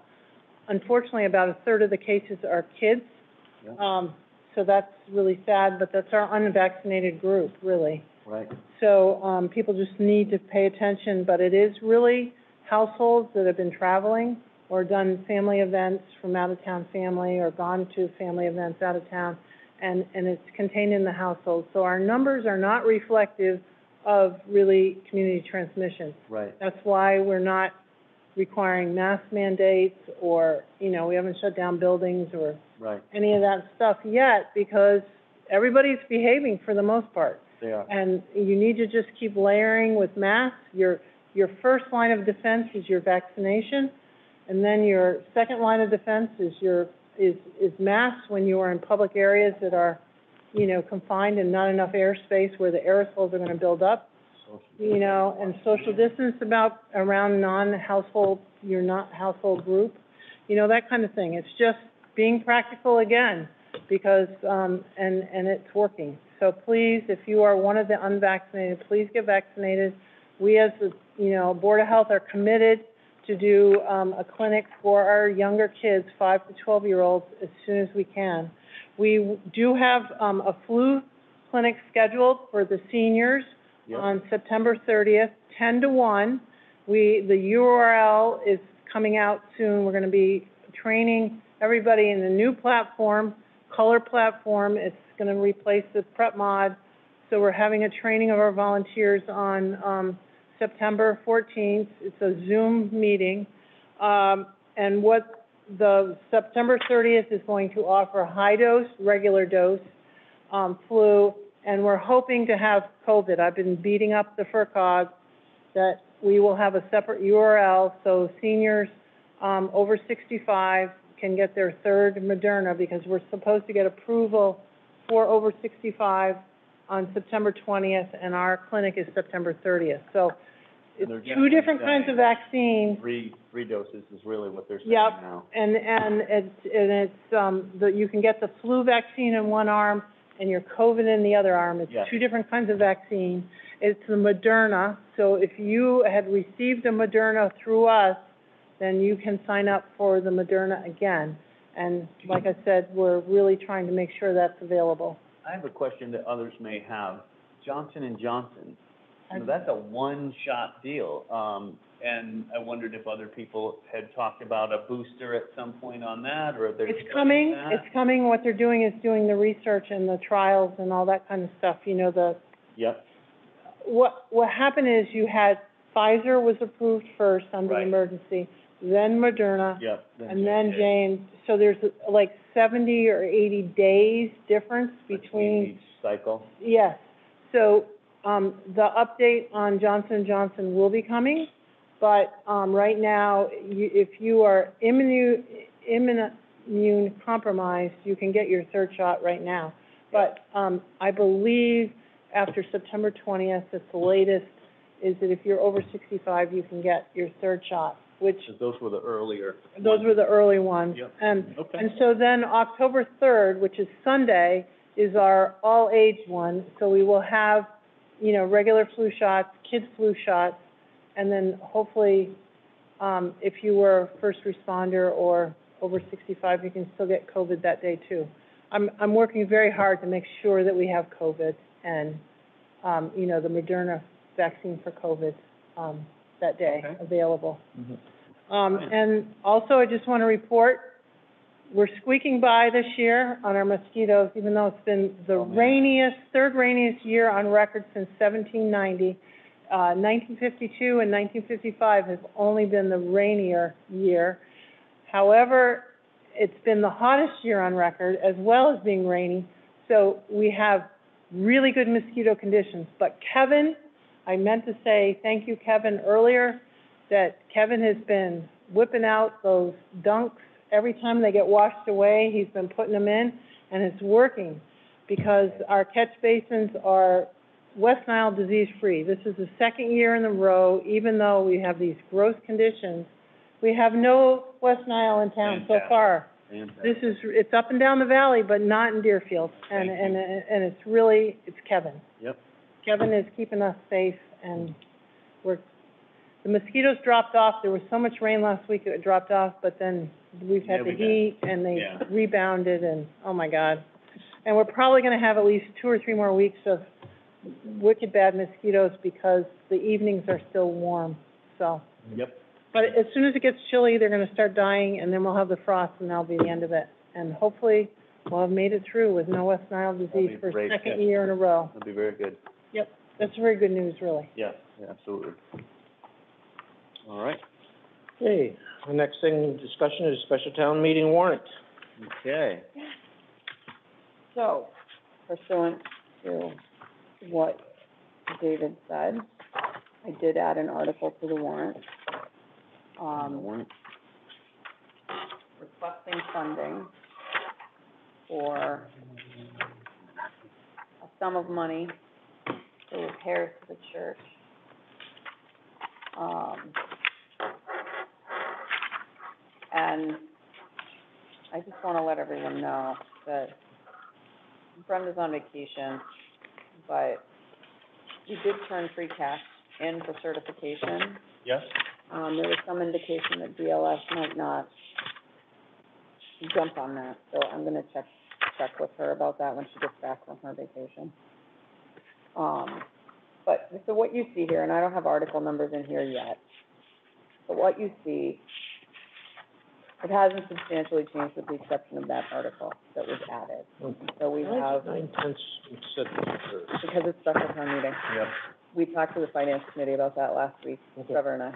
Yeah, It's a different percentage when it's special town meeting yep, as opposed to annual. only two-thirds at annual, yeah. Okay, So there's unanticipated fiscal year bills 2020, 2019, 2019, and twenty eighteen.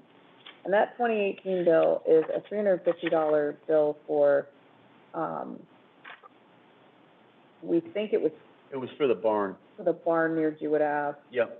Paul Alice was looking to do something with it, I think, and we had it appraised. Yeah, and so this bill got lost in translation. I only found out about it after the same surveyor did the work for the Oxford property. mm-hmm, So Okay, that's the first four articles yep. as they stand right now. We also have a vote of the summary appropriation of the June annual town meeting warrant article number five. That was a Because- correction. There's a, there needs to be a correction in the amounts of the funding sources. So what you see, and I discussed this with both the accountant and counsel, we're going to give that information out as part of the warrant, so what the funding amounts should be, Yep, as opposed to what they were. what they were.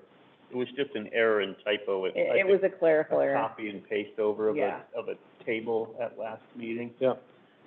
so. So we that's gotta rewrite that the new numbers. article. And Okay. then the article that follows the omnibus budget article is the new one, which is the South Deerfield Congregational Church Building Repairs. And I put, so one thing that everybody might not have noticed is, instead of putting in a vote to transfer from free cash, I put in language to transfer from available funds or otherwise provided. It provide. could be any fund, We, yeah. so it, it notifies the town residents that we plan to make either a transfer or some provision to fund these articles, Right, but those sources aren't settled at the moment, Right. which is allowable. okay, So, the next article is the gender neutral language for the Yep. select board in the zoning bylaws, which we passed over at annual town meeting because we didn't have the hearing process completed. right, And there's only one potential change to this, and I'm waiting to hear back from counsel about it. Um, the words related to the non-gendered reference is something that Lisa put in. I don't understand what. It, I don't know, it's, it's different from the, it's slightly, that's the language, it's slightly different from our last article, so I have to make sure that the Well, they planning have- board is advised that Lisa would like that added. There's individuals that do not identify, Oh, oh, oh, oh, That's oh, what it oh, is, that's, oh. that's one of the reasons she's putting it in there, but it wasn't they something like that to we be noticed, referred to as they or them. correct. But uh, then the select board? Because we're changing it to select board. Right, related to the non-gendered reference. So what, Right. anything, and this, this is It is a non-gendered editorial or clerical adjustments I just wanna related make to the sure that non-gendered people know that I'm not pushing this. No, no, I'm No, no, pushing no. it. I know. It's actually, we know the reason. Absolutely. The treasurer had asked me and the two of us came to you Because to of our make loans. this change Yeah. because of the USDA loan. Yeah. Uh, No, it's absolutely true, but it's just, I, it's not some, I mean, I, it's not something No, that don't bothers feel, me. no. Yeah. It- This is She never had a problem with any of that. Nope, she didn't. No, I didn't, She really. didn't. It's too late. Yeah, Yep. she didn't. It's time for the change. It is. So, We've had so many years, is it's not two-thirds anything. majority, Yep, um, we then have the zoning bylaw amendment, frontage for municipal facilities on town-owned lots. yep. And there was a change to that. We discussed this with the planning board, you all did. Mm-hmm. And then Trevor and I discussed it with Finance Committee at their meeting last week when they started to go over the warrant. The change was to allow a minimum fifty-foot frontage for town municipal facilities in residential, agricultural, and small business. So CBRD and C one districts only. Okay, yep. And that was Central Village. the language that planning board that allowed, settled on. and that allowed us to do the Leary lot. Correct. Yes, because we, none of us realized the Leary lot wasn't the Central we Village. all- Central Village, right. Yeah. Okay, good. So And then the their other, hearing for that is coming up on Monday, if anybody wants to attend. okay, Um, I'll, I'll do that again, just to Okay. represent us, if you want. thank you. Um, 'cause I'll be on vacation, so yeah. I'll be there. No, I, I talked to Annalee and the planning board last time, and, and they were fine with it. That's great. And And I, and I said, it was my fault. I, I just really didn't know that the Leary lot wasn't included. I know, we looked at it the next day, I, I looked at it with Jennifer and Bob and went, that's not the right district. So that's why we asked. That's No, I just forgot, you know, I mean, We didn't know the line was Conway Street. I did at one time, but I it didn't know. just, it didn't, it didn't register. Yeah. Yeah. I mean, So it's that just was one- noticed language, the hearing is Monday. Yep. Um, What- the next zoning article that we have was the bylaw amendment to make a change in the floodplain district section of forty-three hundred to remove a reference to a section that's been removed Yep. in the, in the Code of Massachusetts regulations. That's easy. So it says, the removal is currently section seven forty-four is a strike-through. Request. Um, Tourism, this is the And then the overlay. third one, so this is another article, it's the tourism overlay district. And there's Did some, we, did we get the other map, the, Yeah, or is just, that gotta be, the other the map needs to parcels? be amended for Monday, uh, as long as it's okay with you. I, I think it's important to put in the, uh, it was brought up at the finance committee that, uh, Leary lot, Leary lot and the, uh, BBC be added to that district, so if that can happen, I'm good with that. I don't know What if you about need a the vote north- from us. what about the north, well, we're, we'll get to What it in a about- minute. Um, North Main Street, the, the North Main Street lot as well, that was a question that came up, I don't, I don't think we were interested in expanding. The what? the North Main, the pro- former That's for the severe municipal. property. I, Um, I don't think that needs. Oh. Overlay. I, I could be That's wrong. overlay. Is there a reason why it would be? I'm just asking, it came up as a question. Um, No.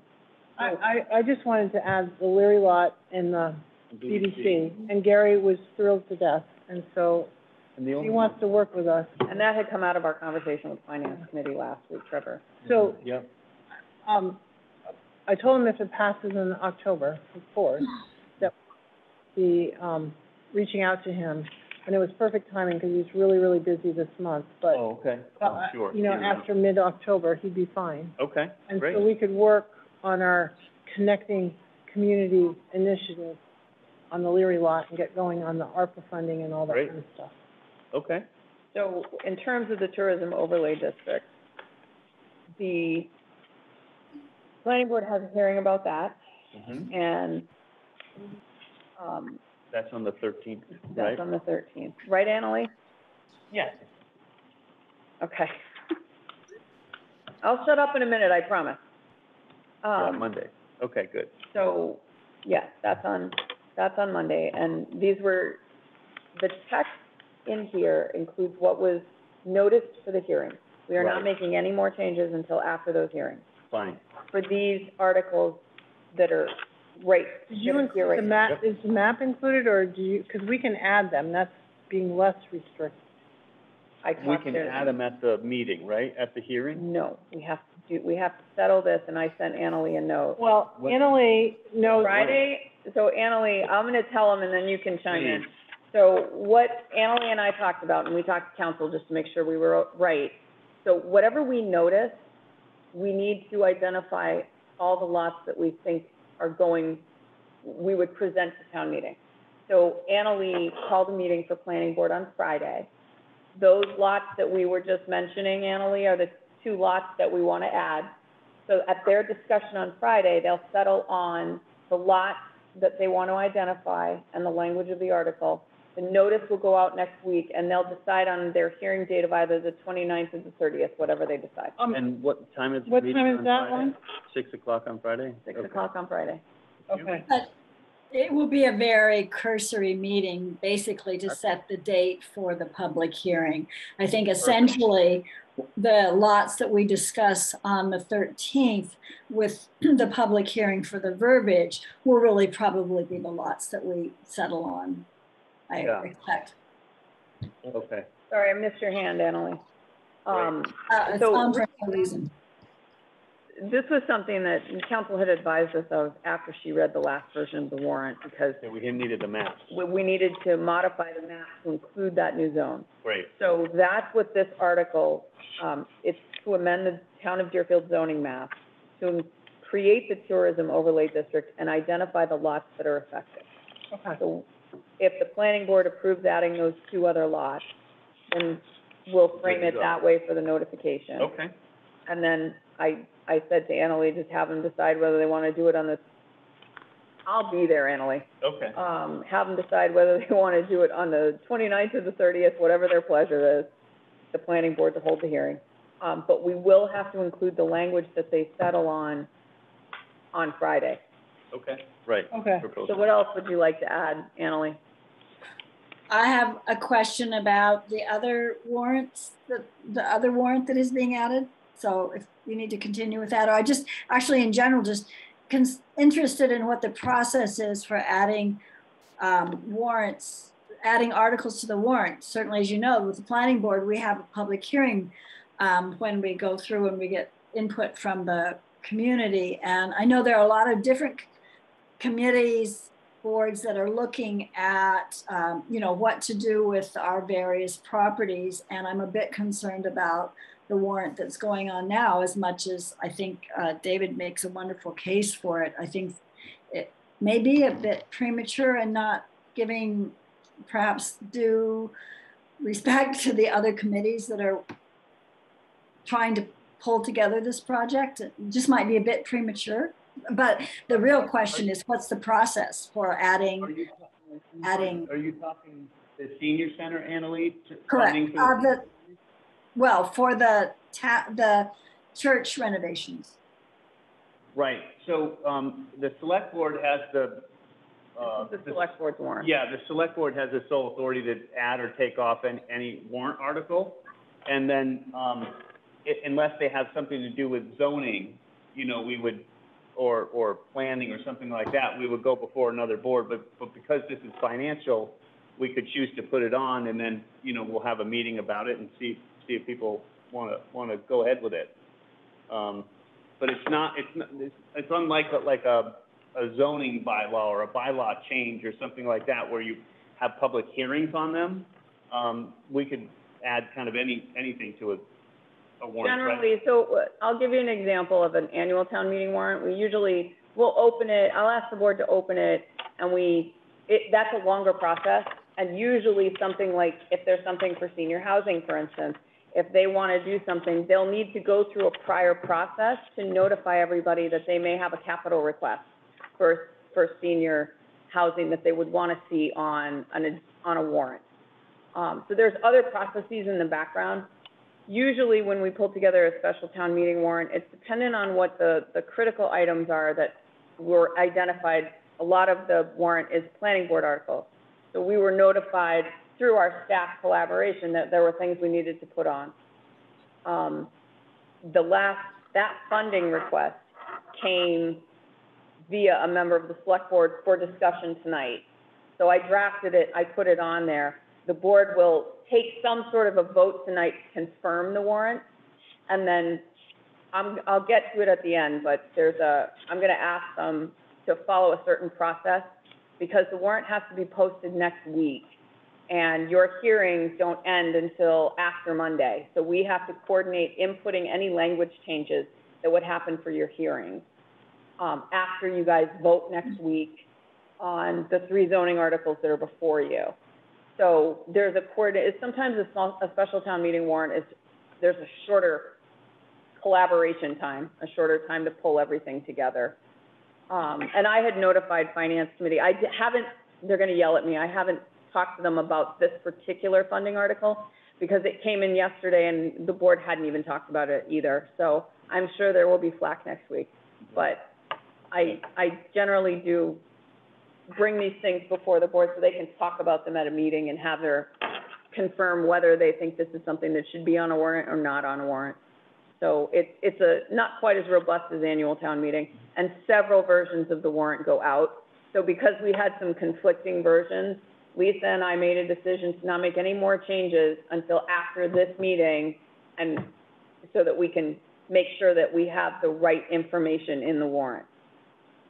I, I And I, oh, I just want to say, the board is supportive of David and John's efforts with the senior center, and if the finance committee has a problem, we hadn't even had a chance to look at it, but it's through his work that we, you know, we need to do something before cold weather.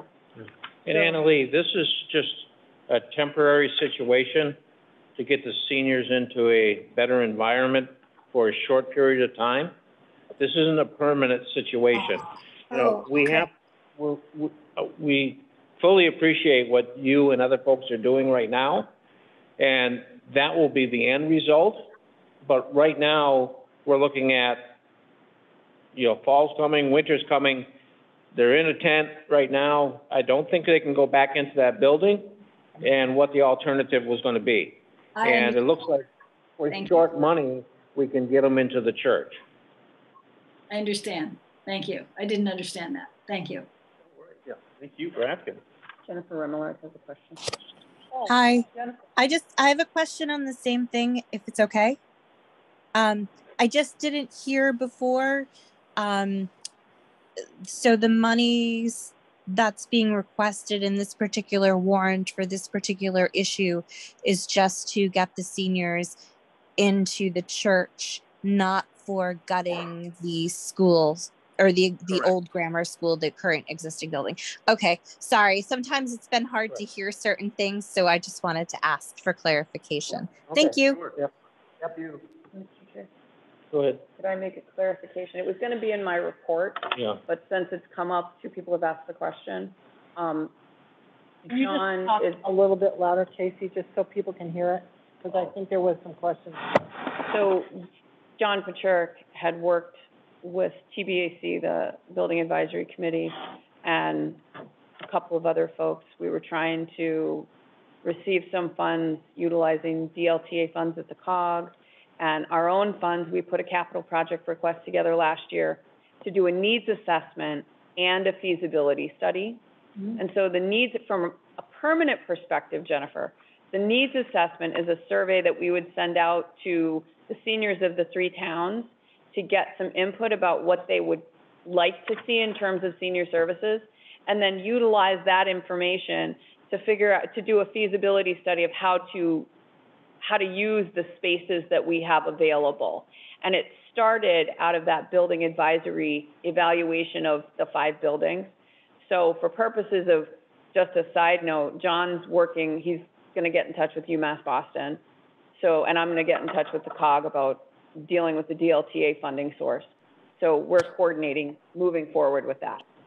Thank you for saying that because I guess my um my previous perception or understanding had been that that needs assessment was already conducted. Because I remember uh, the talking of the thirty thousand dollars or so being put aside or or whatnot needed for that. I think it was thirty thousand um, in order to do that. So that was that was not done. That's in process. It's in process. Right, yep. Okay. Between Thank what's you. coming from the COG and that need assessment, we have approximately forty-three thousand. Great. Get that. Thank thank you for sharing that information, Casey. No problem. So, um, so the tourism overlay, the language that you see now is the language that will be discussed at the hearing. Um, and I did, Annalee, I did have a conversation with counsel, and, you know, within the four corners of that article, if it's non-substantive, if there were changes that are not substantive, we, we could probably be okay with it. Um, I don't know that there would be many things, I don't know what the public's gonna say about it, so I'll be interested to hear what happens afterward. So the, the article that follows that is the article that you will be discussing on Friday with other members of the planning board, and that's the actual zoning map. Um, I will ask you guys to add those, those two lots per this conversation with the select board. So that when the notice goes out, we have to have those lots identified, which is what you and I had conversed about in email. So I have, all we have to do is add that, the two lots, the maps and lot references for that. And I've also asked Ryan Clary up at the COG to draft us a zoning map so that you, we have something to include to show people. So it's got pretty colors on it. Because he does a really good job with that. So that's what that article is, coinciding with the overlay district itself, the verbiage that Annalee You mentioned. know, it'd be very helpful if Ryan's sitting down. It wouldn't take him much effort because he'd have all the lots there. But if he could do, you know, the original zoning, so map, and then the overlay districts, separate overlay districts. So all the planning board and the select board had updated, um, floodplain overlay marijuana district, I think it's all done. um, and, and then, um, the original underlaying one, just so we can have it in our notebooks, okay? Notebook size. I don't mean big ones, I mean ones that we can have for reference. Because if I had had that reference, I would have realized that the Leary lot wasn't in the Center Village District. As a, you know, it jogged my memory. So it'd be really nice to have him just do that real quickly. He might even already have it, and I'll I think we already have it, but I'll check. I think he did the update after we got approval for marijuana, Okay. which included, which also had. Well, I think it would be really helpful if the planning board, each planning board member had their own little packet, and we had a copy ourselves, okay? Because we're, it's getting confusing, all the stuff that we're doing. And Or we at need to least, be li- at least a screen share. Yeah, well, we need to be looking at the whole downtown thing again. I mean, that's part of what we're doing. Okay, so the next article, and this is another one that planning board has a hearing on on Monday, right, Annalee? Yes, So this next article is the solar energy systems, and it's a mm-hmm. full replacement of the solar energy bylaw. Because the current, the bylaw that was voted at annual town meeting has not been approved. And the planning board, in consultation with Chris Curtis, is recognized some things needed to be addressed, some changes needed to be, be made. Am I right, Annalee? yes, Hasn't been So they- approved from the AG's office? It has not been approved by the AG's office, so after some consultation with, with the town clerk and counsel, we suggested to the planning board that this be a full replacement. Okay. It will solve any numbering problems, and Yep. it will also outline some of the, the terminology that was, that was caught.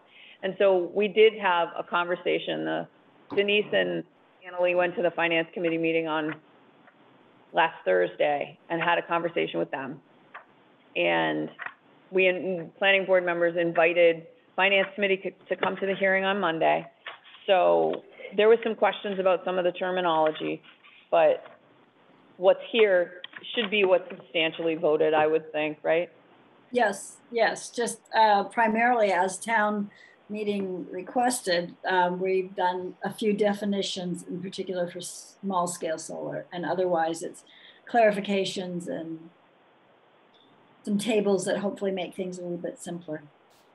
Yeah. And the one thing that we requested, and it was actually something that town counsel caught, was in the municipal solar energy system, that we add, and she's, I've been told this is okay, Annalee, that we mm-hmm. add in that definition, a solar energy, ener- energy system that is owned by or located on land owned by the municipality.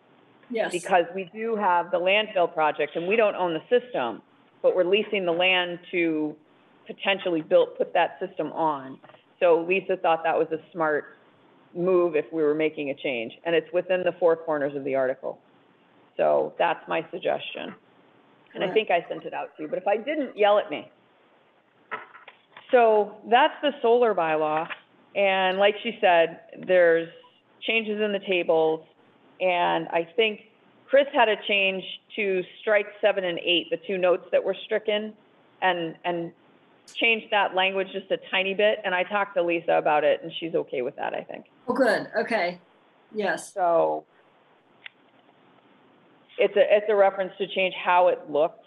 The only thing that might be an issue is the amendments to the existing article definitions, and so I'm gonna ask her about that.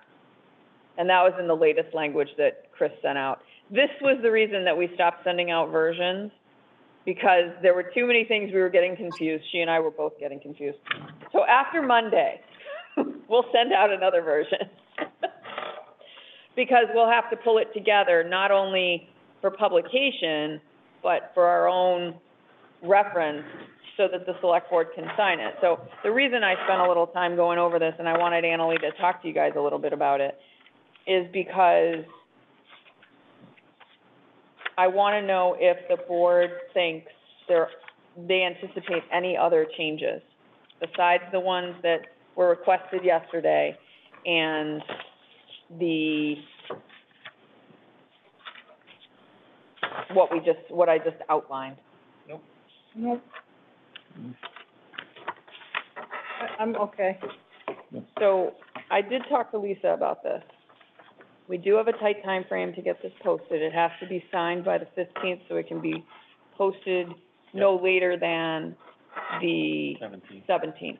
Yep. To comply with the fourteen-day requirements. Mm-hmm. So if the board has no other changes, I would respectfully request that the board approve this, this warrant conditionally On numbering. with the clerical allowance to number, I'll number. Yep. Once this, once we had a chance to talk about this, I was gonna do the numbers after Yep. that. No, I'm good. So I would suggest that the board conditionally approve this warrant, subject to the incorporation of the finalized language for solar tourism overlay, zoning map changes, and the frontage for municipal facilities that will result from the hearings next week. Now, I must caveat that with the overlay, the zoning, the zone, the overlay zone language. That has to be what's decided on Friday, because we don't have time Right. to wait until the thirtieth or the 29th. So that would be that language. So it has to be substantially complete, Annalee. That's why I sent you an email and tried to coordinate that, so it, so we could get it done as soon as we could, because that was the caution from counsel. That motion got too long, but yes. So it was So a moved. motion, I, I have it written, I'll second you- it. you- I'll Thank you. second it. All right, good. Moving on. Oh, Okay, uh, the only question I have, Casey, is on the article for, from the church. Do we have to put a dollar amount? we don't. We don't. So what you can do is a sum of money. So when we know we, we need to put a funding article on, but we don't know exactly what it's gonna be, we notify the town that we will be requesting a sum of money. And in the motion, we identify what the sum is. Okay. And one of the reasons that I wanted to be clear that I notified you that I changed the language Yeah. for transfer, for yeah, funding not for it. raise and appropriate, right? No, No. but other, or otherwise provide. Yeah. So either transfer from available cash funds. Or yeah. So fund if that we we get have free already. cash or something. Yeah. Well, so here's, here's my other We don't have caveat. any free cash yet. Um, we don't have free cash yet, so we need to be aware that if we don't have free cash, and this was a question that you and I remember from the finance committee meeting. The request came up, well, if we don't have free cash, are we gonna pass over all these articles? And I'm hoping we will have free cash, but I would also hope that we wouldn't pass over these articles. So the Right. reason I framed it as transfer from available funds or otherwise provide, Mhm. That way we can structure the motion so that once we know whether free cash is available, we may have to make some adjustments. And I will warn you, and this isn't gonna go over well, um, but for purposes of building repairs or something, we may wanna consider utilizing a different funding source, like a stabilization account. I don't know that finance committee will be amenable to that, but I, I wanna put it out there as a cautionary comment. Or we could just ask them for reserve transfer. We could, uh, we could ask town meeting We're to not- approve we're not- something like that. We're not asking for a huge amount of money. We don't know what it's gonna be yet, so that's why I put a Yeah. comment. All right, we'll, we'll figure that John and I talked over about that, next he's like, week or can we so. do a sum? I said, yeah, we can do a sum. Over the next week or so, Okay. we can, So hopefully by next week, we'll have more information. Yeah. you seconded, So, Any further discussion? Nope. All those in favor? Hi, Carolyn. hi, Trevor McDaniel. Aye, Dave Wolfram. Guess we have a warrant. We do. So once I finalize this tomorrow, I'll add the article numbers and stuff. Once I do that, I will send it Yeah, out That'd and be great. try to get in touch with Julie and explain it. Okay. Um, and then, so I'm on vacation next week. Good for you. Who granted that? Yeah, wait a minute. You grant that? All right. I don't know, no one's The at whole week? vacation. What? Uh, Yeah, if I'm you, actually leaving too. You're actually not even you gonna be have, around? um, She's didn't gonna- you just go to Block Island the other day? She's gonna flush her phone. For two days. if you have a, a, a sheet, we, we can sign that. So that's what I was gonna do. I was gonna have, um, Jennifer put that together on Tuesday. Yeah. So you can sign it. And Oh, just, okay. what I want her to do is put it together, send it to counsel. Counsel can do a final review, and then she'll get it together for Barbara, and Barbara will tell her how many copies she needs, so that you guys can come in and sign it at your convenience. And maybe, could I ask you for a motion to sign at your convenience once the warrant's complete? Yes, make that Yes, I motion. may make that motion. I'll second it. Okay. Okay. All those in favor? Hi, Trevor McDaniel. Hi, Carolyn, now. Aye, Dave Wolfram. Great. Um, Right there. Thank you. Okay, the next thing on our agenda is the, uh, PVMA Old Deerfield Craft Fair. Woo-hoo. Yeah, so this went to the wrong email, Carolyn. That's what happened? That's what Do we need to happened. vote this? Cause I swear, I looked through my email and favor- Jennifer of did the too, and we couldn't Oh, find we it. did. It was my old Okay, great. email. So Jennifer Uh-huh. talked to, um, Tim, and he sent it along, and we have time to get it all set. We have the letter prepped.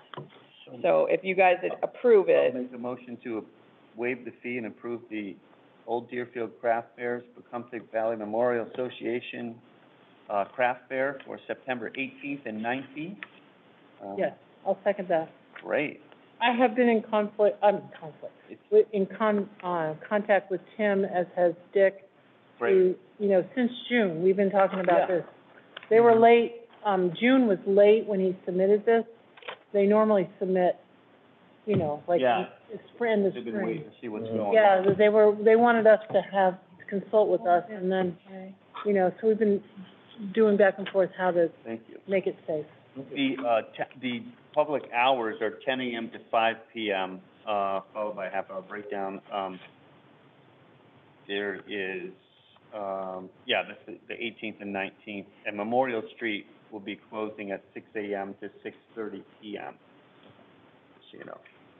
Okay. Next.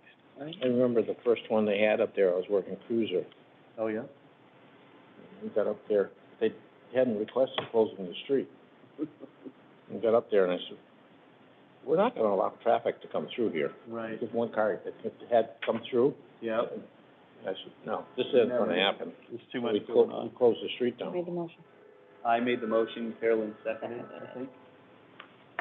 One of the two, Something like that. something like that. It got, it got, the motion was made and it was seconded. And we All those in favor? I, Trevor McDaniel. Hi, Carolyn, now. I did both. Uh, next is, uh, I think I put something out of order, but I've been through mine so many times, it might be that I just Girls missed Night it. Out event, Okay. all over Hey, hey, So the formal vote of a one voting precinct, if you look next Oh, to you, sorry. David, there's an explanation that Uh, Barbara it looks like provided. we, our population dropped because all my kids moved out of town. Uh-oh. Great. My household is, Okay, my household is down to one. you have a motion, you said, or? Yeah, I'll make the motion. Oh, you I have a think motion. we wrote it out for you. Oh, okay. Yeah, we have a, um, we have a, a population decrease, but we're still unfortunately over five thousand. Of course.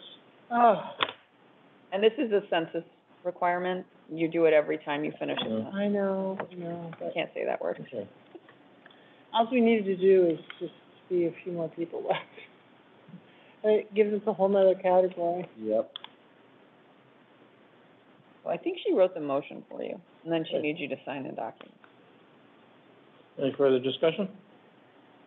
All those in favor? Gotta say the motion. So, Oh, you wanna read it? oh, where, oh, did she put it? We're gonna have one precinct, we're not gonna have one in the old Deerfield So- Grammar School anymore. Authorization That pursuant we to haven't Mass had for General 10 Laws. Chapter fifty-four, Section six, our town wishes to stay one precinct and hereby request the Secretary of Commonwealth to prepare a single precinct map on our behalf. Massachusetts general law requires towns to divide into convenient voting precincts after each federal census.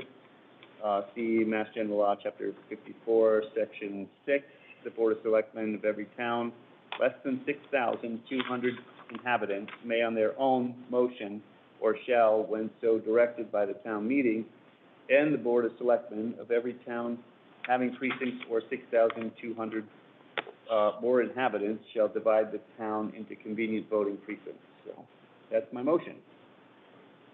And the official population is five thousand ninety. Wow, it Down did go from- down. From five thousand one hundred and twenty-five. Five, yeah. Um, I will Well, second the December motion. would be ninety-one. There you We go. give, give another one? Good. Yeah. Good. Keep them coming. Um, I'll second, or so, second? I second. You seconded? Really? All right. We're, we're getting late You here. haven't paid for grandchildren yet. Not yet, but I would love to, I cannot wait. I got a ways to wait. Um, Yeah, you hope so. yeah, well,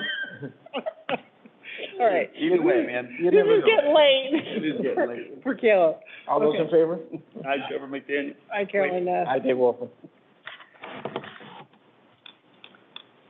Okay, so we gotta approve a girls' night out at Yankee Candle, huh? Yeah, Yeah. Um, make that motion. I second that. This is for, um, I think it's a one-day liquor license. It is. Yeah, Yes. uh, beer, uh, beer and wine. Okay, So- oh, beer and wine, yep.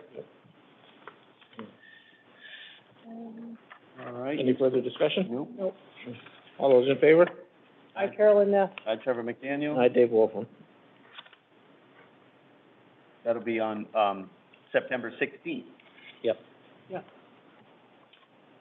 Then we have the South Deerfield wastewater treatment project. Oh, these are the change orders. So these are the potential change orders. I haven't Yep. gotten finalized copies. So Trevor mentioned this earlier. Um, what you have are the potential change order details. I would ask that the board approve the potential change orders and authorize signature once the final documents are available. Yep, so I'll make a motion to approve the proposed change orders. I'll do two, one at a time. So one, first one, um, is for four thousand one hundred fifty-nine dollars and sixty-three cents. Uh, this is for, uh, the demoing of that fourteen foot by, fourteen foot by four inch, four feet thick, uh, concrete slab with a hydraulic jackhammer, labor and time sheet. Everything's documented here. Um, so I'll do that one first, Second it. okay? Any further discussion? Nope. All those in favor? Um, hi, Carolyn. Hi, Trevor McDaniel. Aye, Dave Wolfram. Thank you. The second one, I'll make a motion to approve, um, a change order for wall penetrations. Various wall penetration types are modified and one sleeve was eliminated. So there was some, um, original scope was credited at nineteen thousand, the revised scope was thirty-one thousand, six hundred sixty-one dollars and thirty-four cents. So the, the change order total is twelve thousand, five hundred eighty-six dollars and four cents. Um, I will second that. And these are really for, and, and we have maps of all the different sleeves and wall penetrations they've changed or adjusted, so. All those in favor? Um, hi, Carolyn. Hi, Trevor McDaniel. Aye, Dave Wolfram. I'm, I'm, I'm really impressed that they've had so few change orders. Oh, yeah. They're doing a great They're job. really I doing know. a great job. I'm Uh, so You know, thrilled. for this magnitude of this project. Oh, it's huge, Yeah. yeah. No, they're doing a really good job in keeping track of everything, and then they'll, you know, there was, a- again, another change order, but they just, they just ate, they had enough covered in the bid that they didn't, um, end up charging us more money for it. They could- covered the louvers that they were gonna purchase, so they didn't have to deal with that. So that, I mean, that kind of work is great. Really appreciate that. So who are you gonna authorize to sign the So file I'll when they make a come? motion to authorize Casey Warren to sign the, um, change orders when they come in for her designate. I will You're on second, vacation? If I'm on vacation? You're on vacation? um, I'll second that. All those in favor? Hi, Carolyn. Daniel? Hi, Dave Wolf. Great. Can I just borrow your pen? Thank you. Ever, oh, Well. I didn't realize I didn't have a black pen. What's that? I said I didn't realize I didn't have a black pen. Hmm. No. I only have green. Well, you know, be colorful. Yeah, Okay. I'm trying to be inclusive. you It's know. almost time for the Christmas movies on And- Hallmark, Yeah. middle of October. Yep. Oh, so this was the, um, So that's the notice, the next item is the notice to intent, or in, of intent to purchase the streetlights. Mm-hmm. We, the audit is substantially complete. We are coordinating with Eversource because, and I have some information, Eversource has a grant program that we would like to take advantage of that would actually give us some money toward installation of new fixtures. Right? We have to get moving on it because the return, it has to be done by, and, by November. Okay. And Great. so what I've been doing is working with the auditor group, Light Smart Energy Consulting. Yep. They George are. I talked to George on Friday after I've talked to Tim Simmons and, um, a couple of other folks, including Green Communities. And Green Communities has given us our blessing, their blessing Yeah. To, what we would do is we would utilize, we have grant funds set aside to purchase the streetlights. If we can utilize the Eversource grant, it will save us some money on, on our grant, Mm-hmm. and we could possibly repurpose that. Good. There's only one hiccup, and I'm trying to get George Woodbury to work it out, because we still have the development off of Sugarloaf Street, but the streetlights haven't been installed, so we're Right. trying to work that out. I was talking And Kevin about that, trying to get them to move to LED in there instead of what we typically have. So the whole purpose of converting to streetlights is we, we do this, I mean, George actually can find us a vendor that's off the state contract that has the LEDs that he suggests, Okay. so that we can get those within thirty days. Once we send this out, the next thing is the purchase and sale agreement. Yeah. And the purchase and sale agreement, the reason we have to finish the audit is because it identifies the exact number of fixtures, which means we identify the exact amount of money. So Lisa's reviewed it, I've talked Okay. to our rep from Eversource. We have to send this first. Okay. So what I was gonna ask the board to do is authorize David to sign this notice, notice of intent to purchase. Mm-hmm. And once I talk to George One and without have, holes, no. coordinate Everyone here. between him and Esther in, at Eversource, we should have a purchase and sale agreement ready for you folks relatively quickly. So my question is, and First, first I'll make a motion to, um, to authorize Dave Wolfram to sign the purchase and, uh, the notice of intent to purchase streetlights to Eversource. I, I will second that. Very exciting. Any further discussion? No. All those in favor? Hi, Trevor McDaniel. Hi, Carolyn. Hi, Dave Wolf. Great, thank you. thank you. Um, this So- was the first thing we went to look at on my, my first day as a selectman when we went out to Really? Boston, remember? We went out to Boston, we're like, let's do streetlights. Yeah, so it's a process. Yeah, it is, Ah. time. Um, Painful process, hasn't it? Yep, that's government. We've learned, learned the hard way. Um, this actually has been Sorry. started, Trevor, I, I don't wanna burst your bubble, No, but- you've been doing this before me, Yeah, right? Right, it's been at least ten years.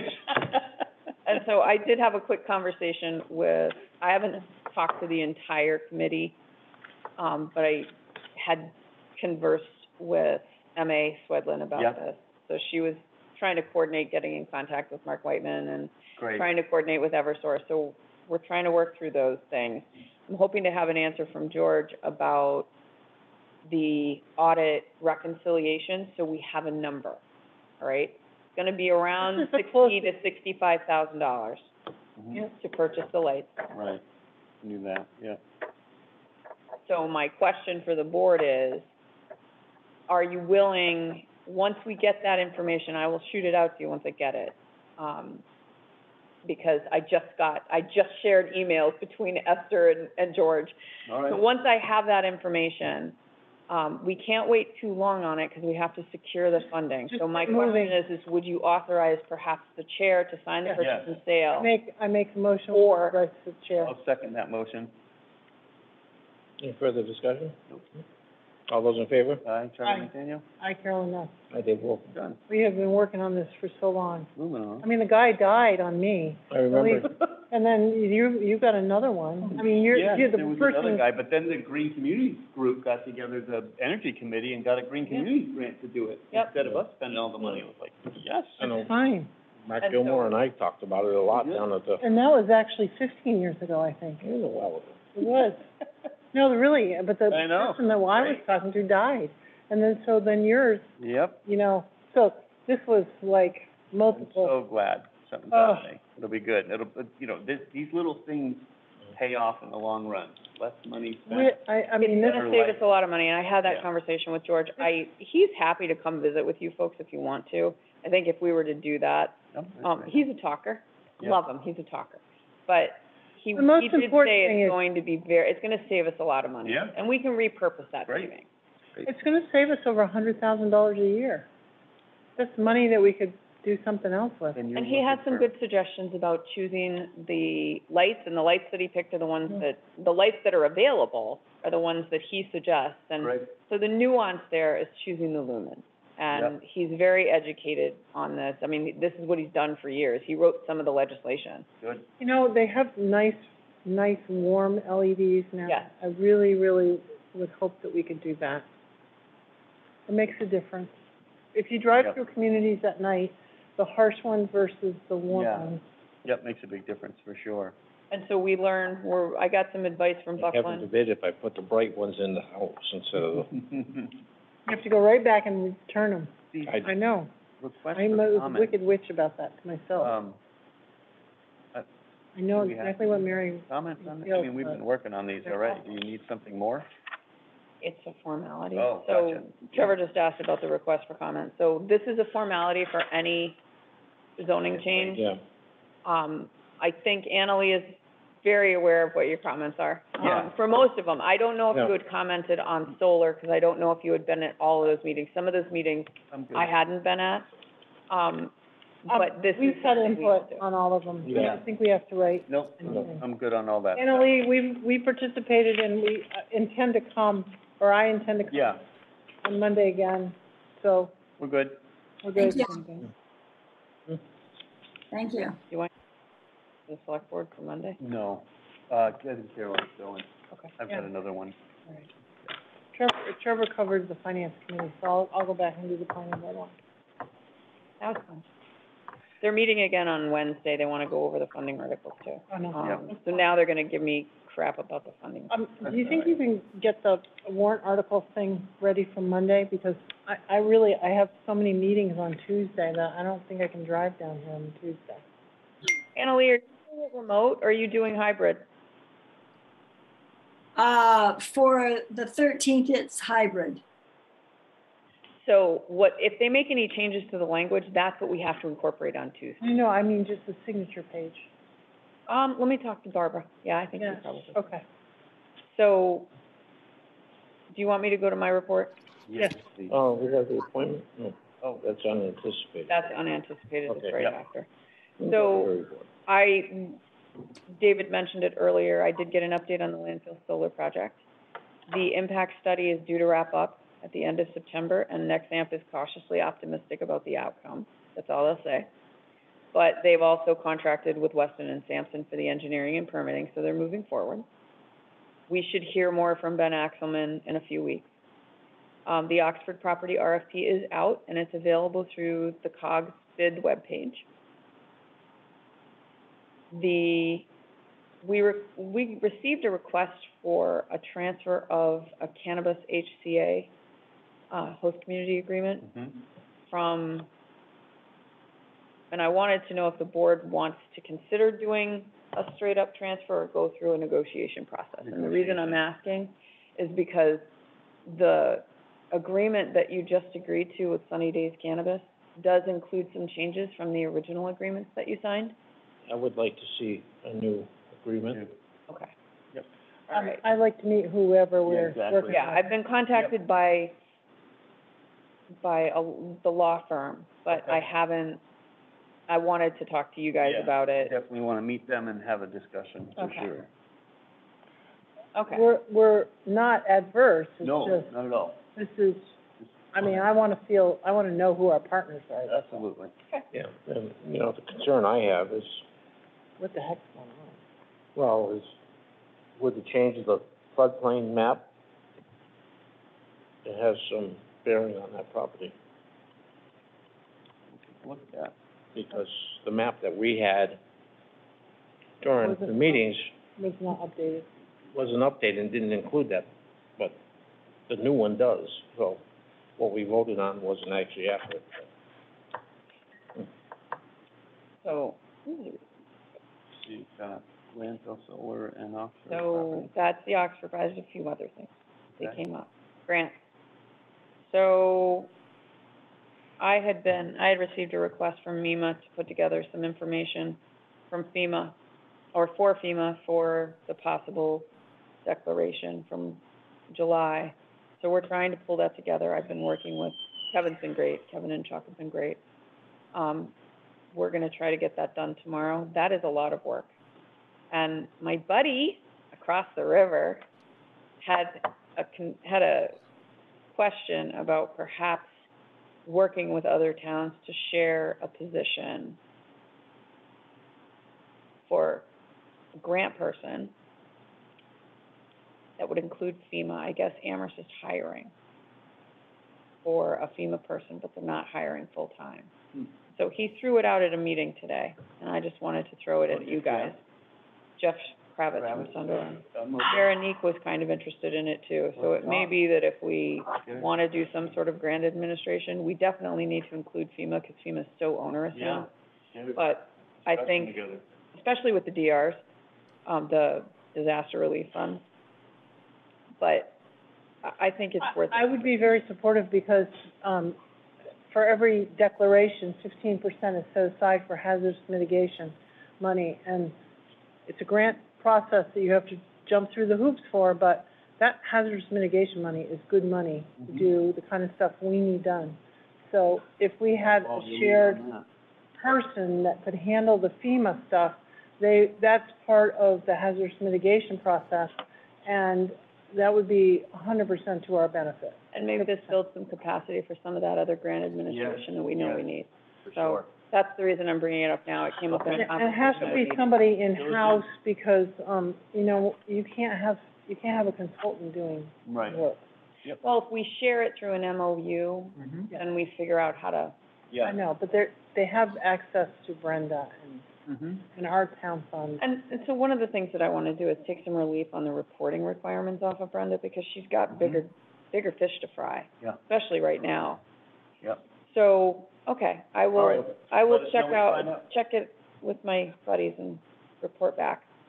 Um, And, you know, with your network, see if one of the other area towns that have basically the same demographic that we have or close to it is looking for a planner. Well, you know, it may not be able to necessarily give be the same demographic, but, because each town's bylaws are different, Yeah, but the planning discipline itself is the same. yeah.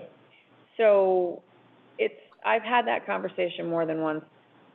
Assuming I can go to the meeting tomorrow, I have a meeting tomorrow.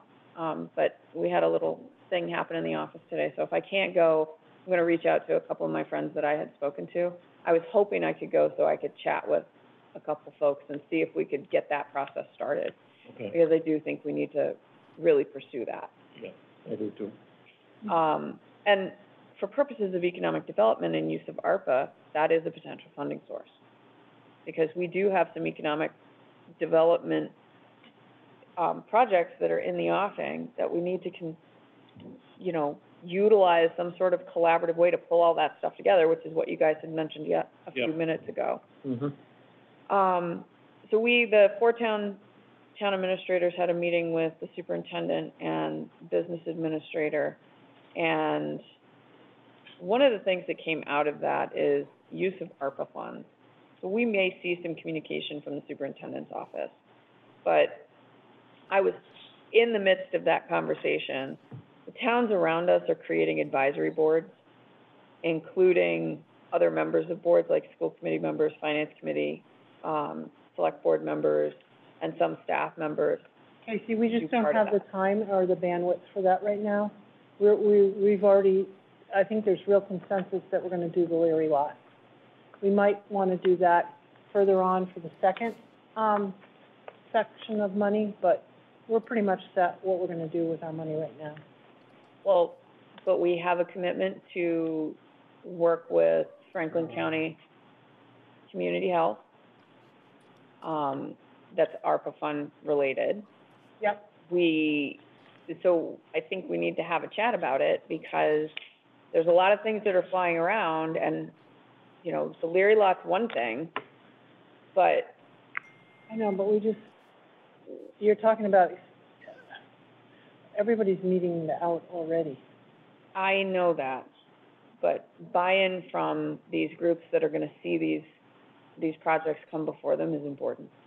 Mm-hmm. So, I'm throwing it out there. I there. know the Leary lot's important, but I'm also thinking that to enhance, enhance this building, we go in, we take the boilers and stuff. So we've had a request to use And for HVAC. HVAC, We have, I can, we can make the decision, Yeah, I know, I, I but I'm just saying, that's just something that, you know, that could increase our footprint here temporarily and also augment, you know, because whatever we I do, we- agree, I agree. it, it's just gonna be used, whether it's used for us or if the feasibility says we can move the seniors here, it's used for that. Uh, I mean, there's, you know, so much wasted space there. And we've got You can get eight two hundred officers gallons of of- that, yeah. fuel oil there that we've gotta dispose of. So HVAC is a question, it's actually a question the schools are struggling with as well. Mm-hmm, Um, and it is allowable, mm-hmm. so I've even had the question from John about his shop, whether we could utilize ARPA funds for that. So there's a lot of questions out Yep. there. I think we need to start Yep. digging into it, although you have it for two more years, three more years. Yeah. I, I was, So it's not, it's the project planning that's important, because if we don't sort of put it in some sort of a planning, um, documentation frame, people won't be able to keep track of it, and that's really, Yeah. that's the thing that smacks us in the ass on the other end, sorry. Mm-hmm. That it, it smacks everybody if we don't start from a project planning phase and then move into that, Yeah. whatever the reporting phases I are. agree. So the other thing that came out of the meeting with the superintendent is we're gonna see a communication from the superintendent to accept an MOU that DESE and DCF have entered into to provide educational transportation for homeless or fostered students. It'll probably come in the next month or so. Um, Darius, it's, it's a new thing that the select board is required to accept. So he advised us, all the town administrators of that this morning. So we'll see it, I'll forward it to you and we'll put it on an agenda. We're required to accept. It's not a contract that we negotiate, it's actually a DESE DCF contract, but the towns have to review it, and apparently the select board and the school committee have to look at it. I didn't know that, Okay. so I learned something new. Um, and I think Trevor mentioned it earlier to me, was teacher negotiations are coming up. Yeah. And so the superintendent requested that I notify everybody that the select board needs to appoint a member or a designee to participate in this. And it's FRS, right? Or is it the, I think it's union, the elementary school, Yeah. FRS union or elementary school union? elementary. Okay. Yeah, I'm, I'm pretty sure, because I think, I think our Frontier negotiates, right, our school committee front, Frontier representative negotiates. So it must be that. elementary I think it's school. the elementary one is us, and, um, we had talked to Skip last time, but I don't know if he's still interested. So it's not a cr- it's not, it's looming, it's not in Yeah, front it's of you not yet, he's away. gonna send me an email, so I'll, Okay, we'll talk about it. we'll talk about it once he gets there, but I wanted to warn you about Okay. it. Yeah. Sounds good. Because we're gonna have the police contract coming up shortly. Yep. Right. Yep. So Okay. there's a lot of contracts in the office. And then the only other thing is, once Brenda and I are both back from vacation, and we waited specifically till after we could, she waited for free cash, and I waited until after the summer. So the budget process will need to be developed, and Yep. um, I didn't tell you, Trevor and I were at the, when we were at the finance committee meeting, um, they did their reorganization. So Julie's gonna be working with, Julie Chalfont's the chair, Right. she'll, she'll be working with Brenda and I. So Brenda usually communicates directly with them, but I, it helps if I'm informed so that we can coordinate better. Because I really do think if we worked tried out to well last coordinate it, year. would be useful. Mhm. Yeah. It worked out really well. Yeah, Please- it did. We all Please did make sure very that well. Julie knows that we're very pleased that she's Yes, Well, willing I to- think if we could do some coordinated efforts, people wouldn't have to repeat themselves so much. that's Yeah. true. Yeah. And everybody hears the same comment. And everyone can participate. Yeah. No, it worked out really good last year. Yeah. And so one thing that I will let you know, there is a doodle poll out there, the Tilton Library trustees want to meet with you. Mhm. And I've suggested meeting with Capital and Finance and TBAC Yep, so that we can talk about the building project. right. So I'm suggesting we do that as a separate project. We'll have to finalize the poll and I'll send out an email and let you know Okay. when a good date for everybody is. I think I sent that poll to you, Yep, after Yeah. town, the special town meeting. Mhm. um, Okay. because we're, I think, second on the list at this point, from Yeah. what Candace said. So they want to, this, the reason I suggested that we talk as a bigger group is because I thought some of the conversations that finance, the select board and capital had this previous budget season were very fruitful. And now that we know that we're closer, it's a good opportunity to sit down and chat because there were some real questions that came up about debt ceiling and stuff Yep. Mhm. that I think the library trustees don't have the benefit of all that information because they don't come to every meeting. So that was the reason I suggested it. Um, so that's gonna, you'll see that come across your email too, so keep an eye out, Okay. because I did suggest a separate meeting for that. And then there was an item unanticipated to, Emily Gaylord requested appointment to the Cultural Council. Yep. Um, yes, Jennifer Marfisi's, um, they've been having a hard time there, um, Quorum, right? yeah, they've had a hard time getting a quorum in their, um, grant cycle has started. So she was hoping that Emily would be appointed so that they could have a quorum for their meeting.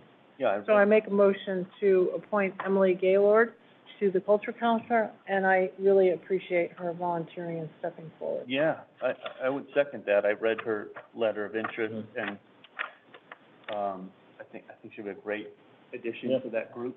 So very, very excited. Any further discussion? All those in favor? Aye, Carolyn. Aye, Charlie McDaniel. Aye, Dave Wolfram. Um, I, only other ar- unanticipated item is I just want to say that, um, the name that we, um, all of us group of the senior housing, senior, eh, whatever, we came up with Connected Community Initiative to try to encompass Great, I love it. all this Leary Lot, senior center, community center, library, mm-hmm. commons, any, anything that's going on down here, Connected community, Initiative. initiative. So it's gonna be the big umbrella of all these different groups that have all these different Gave it an things. acronym already. So this took a whole two hours. You forgot the tagline. all What? right, what is it, Jennifer? Oh, yes, go ahead, Jennifer, I forgot. It's Deerfield's next 350. Yes, yes. I, If it's next three hundred and fifty? through next, next. Oh, I like that. Hmm. That, that actually was my addition. It was. I wasn't, I wasn't gonna give up, I wasn't gonna give up. We had initiative, but we didn't have what we were supposed to come up with. So it was connected, this is a community effort, Denise Mason, Jennifer Remillard, um, you know, Lely, Annalee, Connected Community Initiative, and Deerfield's next three fifty, Sounds three good. hundred and fifty. Sounds good. This is supposed to be future, good energy. Aggressive. One Yeah. thing that we. I maybe forgot, Jennifer, thank you. Any public comment? Over, uh, well, just real quick. You're before we welcome. go- we Talked about, uh, did you mention the Oxford RFP? That's in the paper, right? It was in the paper, it's on, It's- uh, it's been published in the Okay, required great. places. It's All right. available through the, um, COGS bid, bid webpage. Perfect, thank you. All right. Do we have any public comment? Yes. Oh, Yeah. I'd like to speak if I might. Um, I, I know everyone's really tired and I want to thank you all for everything you do, truly. Um, and I just, you know, I, I can't let the night go by without saying that, you know, clearly you've gone into executive session a couple times now with the ACLU violations of free speech issue being, I assume, a part of those conversations. Um, and the community is waiting. We're waiting. We're respectfully hoping for respect. We're waiting for some kind of attention and communication and connection about the violations of free speech that happened and have happened over the years, but particularly that happened in regards to conversations about um, the regulatory boards and the way that um, women in the community were shut down during those meetings. Um, so I'm tired. I'm sure you're all tired, but I can't let the night go on without just saying, you know, I appreciate you. I know this is tricky. I know you probably have learned things from your legal counsel in these meetings that you didn't know before. We're human. I'm human. Everyone in these meetings is human. But we're feeling like this is going into the black hole and we don't want that to happen because this is important. Everybody's rights need to be respected. Everybody's voice needs to be respected. And that's all. Thank you. Thank you. Yeah, This has been referred to counsel Any other, and they're, and Working with the ACLU. working through it. we're working through it. Um, Any other comments? Any any other comments? I guess I just want to just say that honestly, there is back and forth with, um, the Civil Liberties U- Union. And, and, and there is back and forth happening. Um, we just haven't settled on, well, we thought we had something settled and we all agreed to it actually. But it's still going back and forth. It's in- It's in litigation right now, so we can't comment any further. Okay, all right, thank you. And, and just, you know, I know you probably know this, but, you know, many of us who were present in those meetings and who were trying to speak, um, we're feeling your silence and it doesn't feel good. It hurts. And this is our community and we don't want that. We want there to be open communication and at least an acknowledgement. Maybe it's saying, you know, like what you said right now, we're, we can't talk about it yet, but we're working on it. Like that would have been great coming out of executive session if you could have said that for the for all of us to hear. Um, and we hope to hear more as you go along, even if it's not resolved, but to have some updates of whatever you can share because the silence, well, it feels hurtful actually. So thank you. Well, Any other that's the issue with litigation. There's no Any other comment. Comments? Any other public comment? No. Anybody else? Okay. Oh, It Thank looks you. is there somebody else there? Lily? Yeah. Ah, There she Oh, is. yeah. Sorry, I had to undo all my things. I, I, um, I wanted to actually just support what Lou said because I know that, that there've been a lot of letters to the board about this and about a lot of other issues, and there's been no response. And so people don't know that you're addressing it. And to say it's being addressed would be helpful. So I, I just wanted to let you know that um, that that I agree with her, and I think that if you all could um, maybe just have a, a a policy of responding to emails, um, that would be very helpful. Thank you.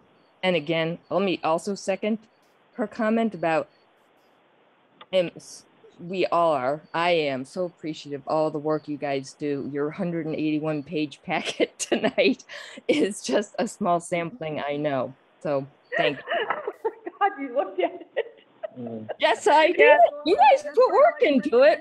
A lot of paper.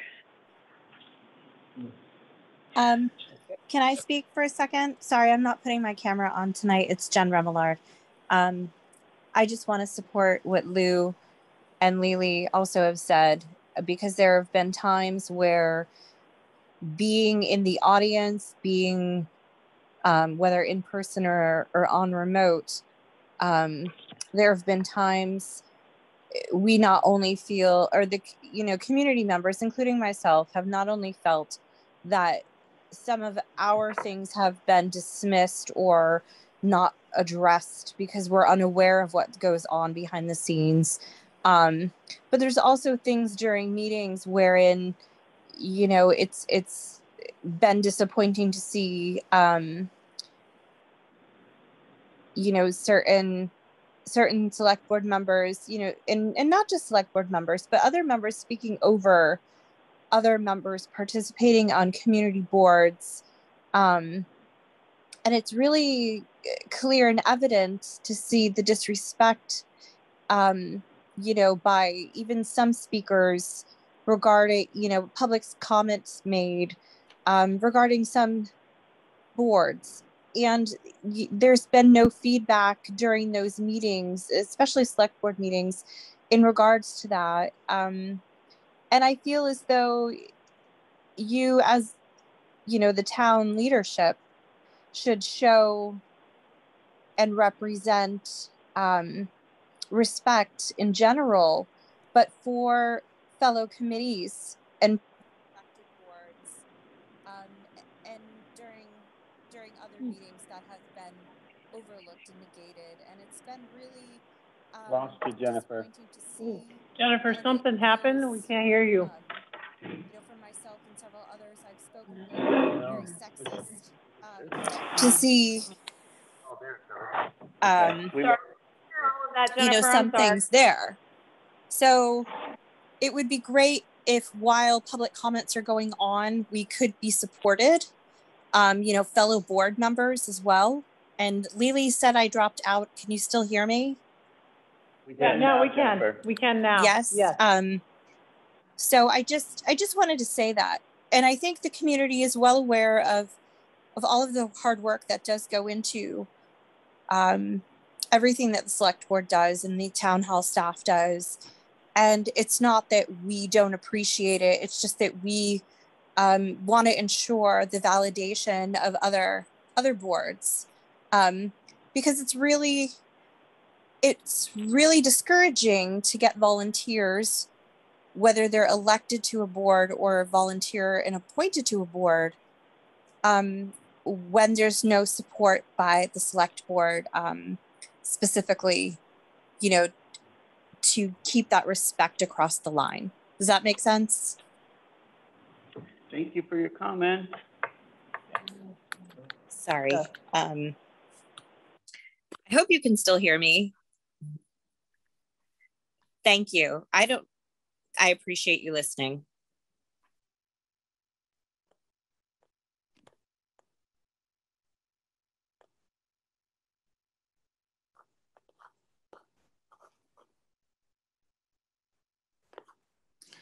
All right. Are you recognizing my hand being up? Yes, yes, you couldn't Because hear I, I couldn't hear anything. The, the sound went off, so I didn't know what you were. Our, our phone went mute for some reason. It's Ah, telling us okay. it's quarter of ten. Well, I just wanted to applaud a comment that Dave Wolfram made tonight about his desire to save and reuse the elementary school building because I think it's a fabulous piece of architecture in our downtown. So I'm happy to hear that, uh, that that's something that everyone's considering. And who knows, maybe there's uh, CPC money that could help work on that building. So thank you. Thank you. Thank you, Tim. Thank you.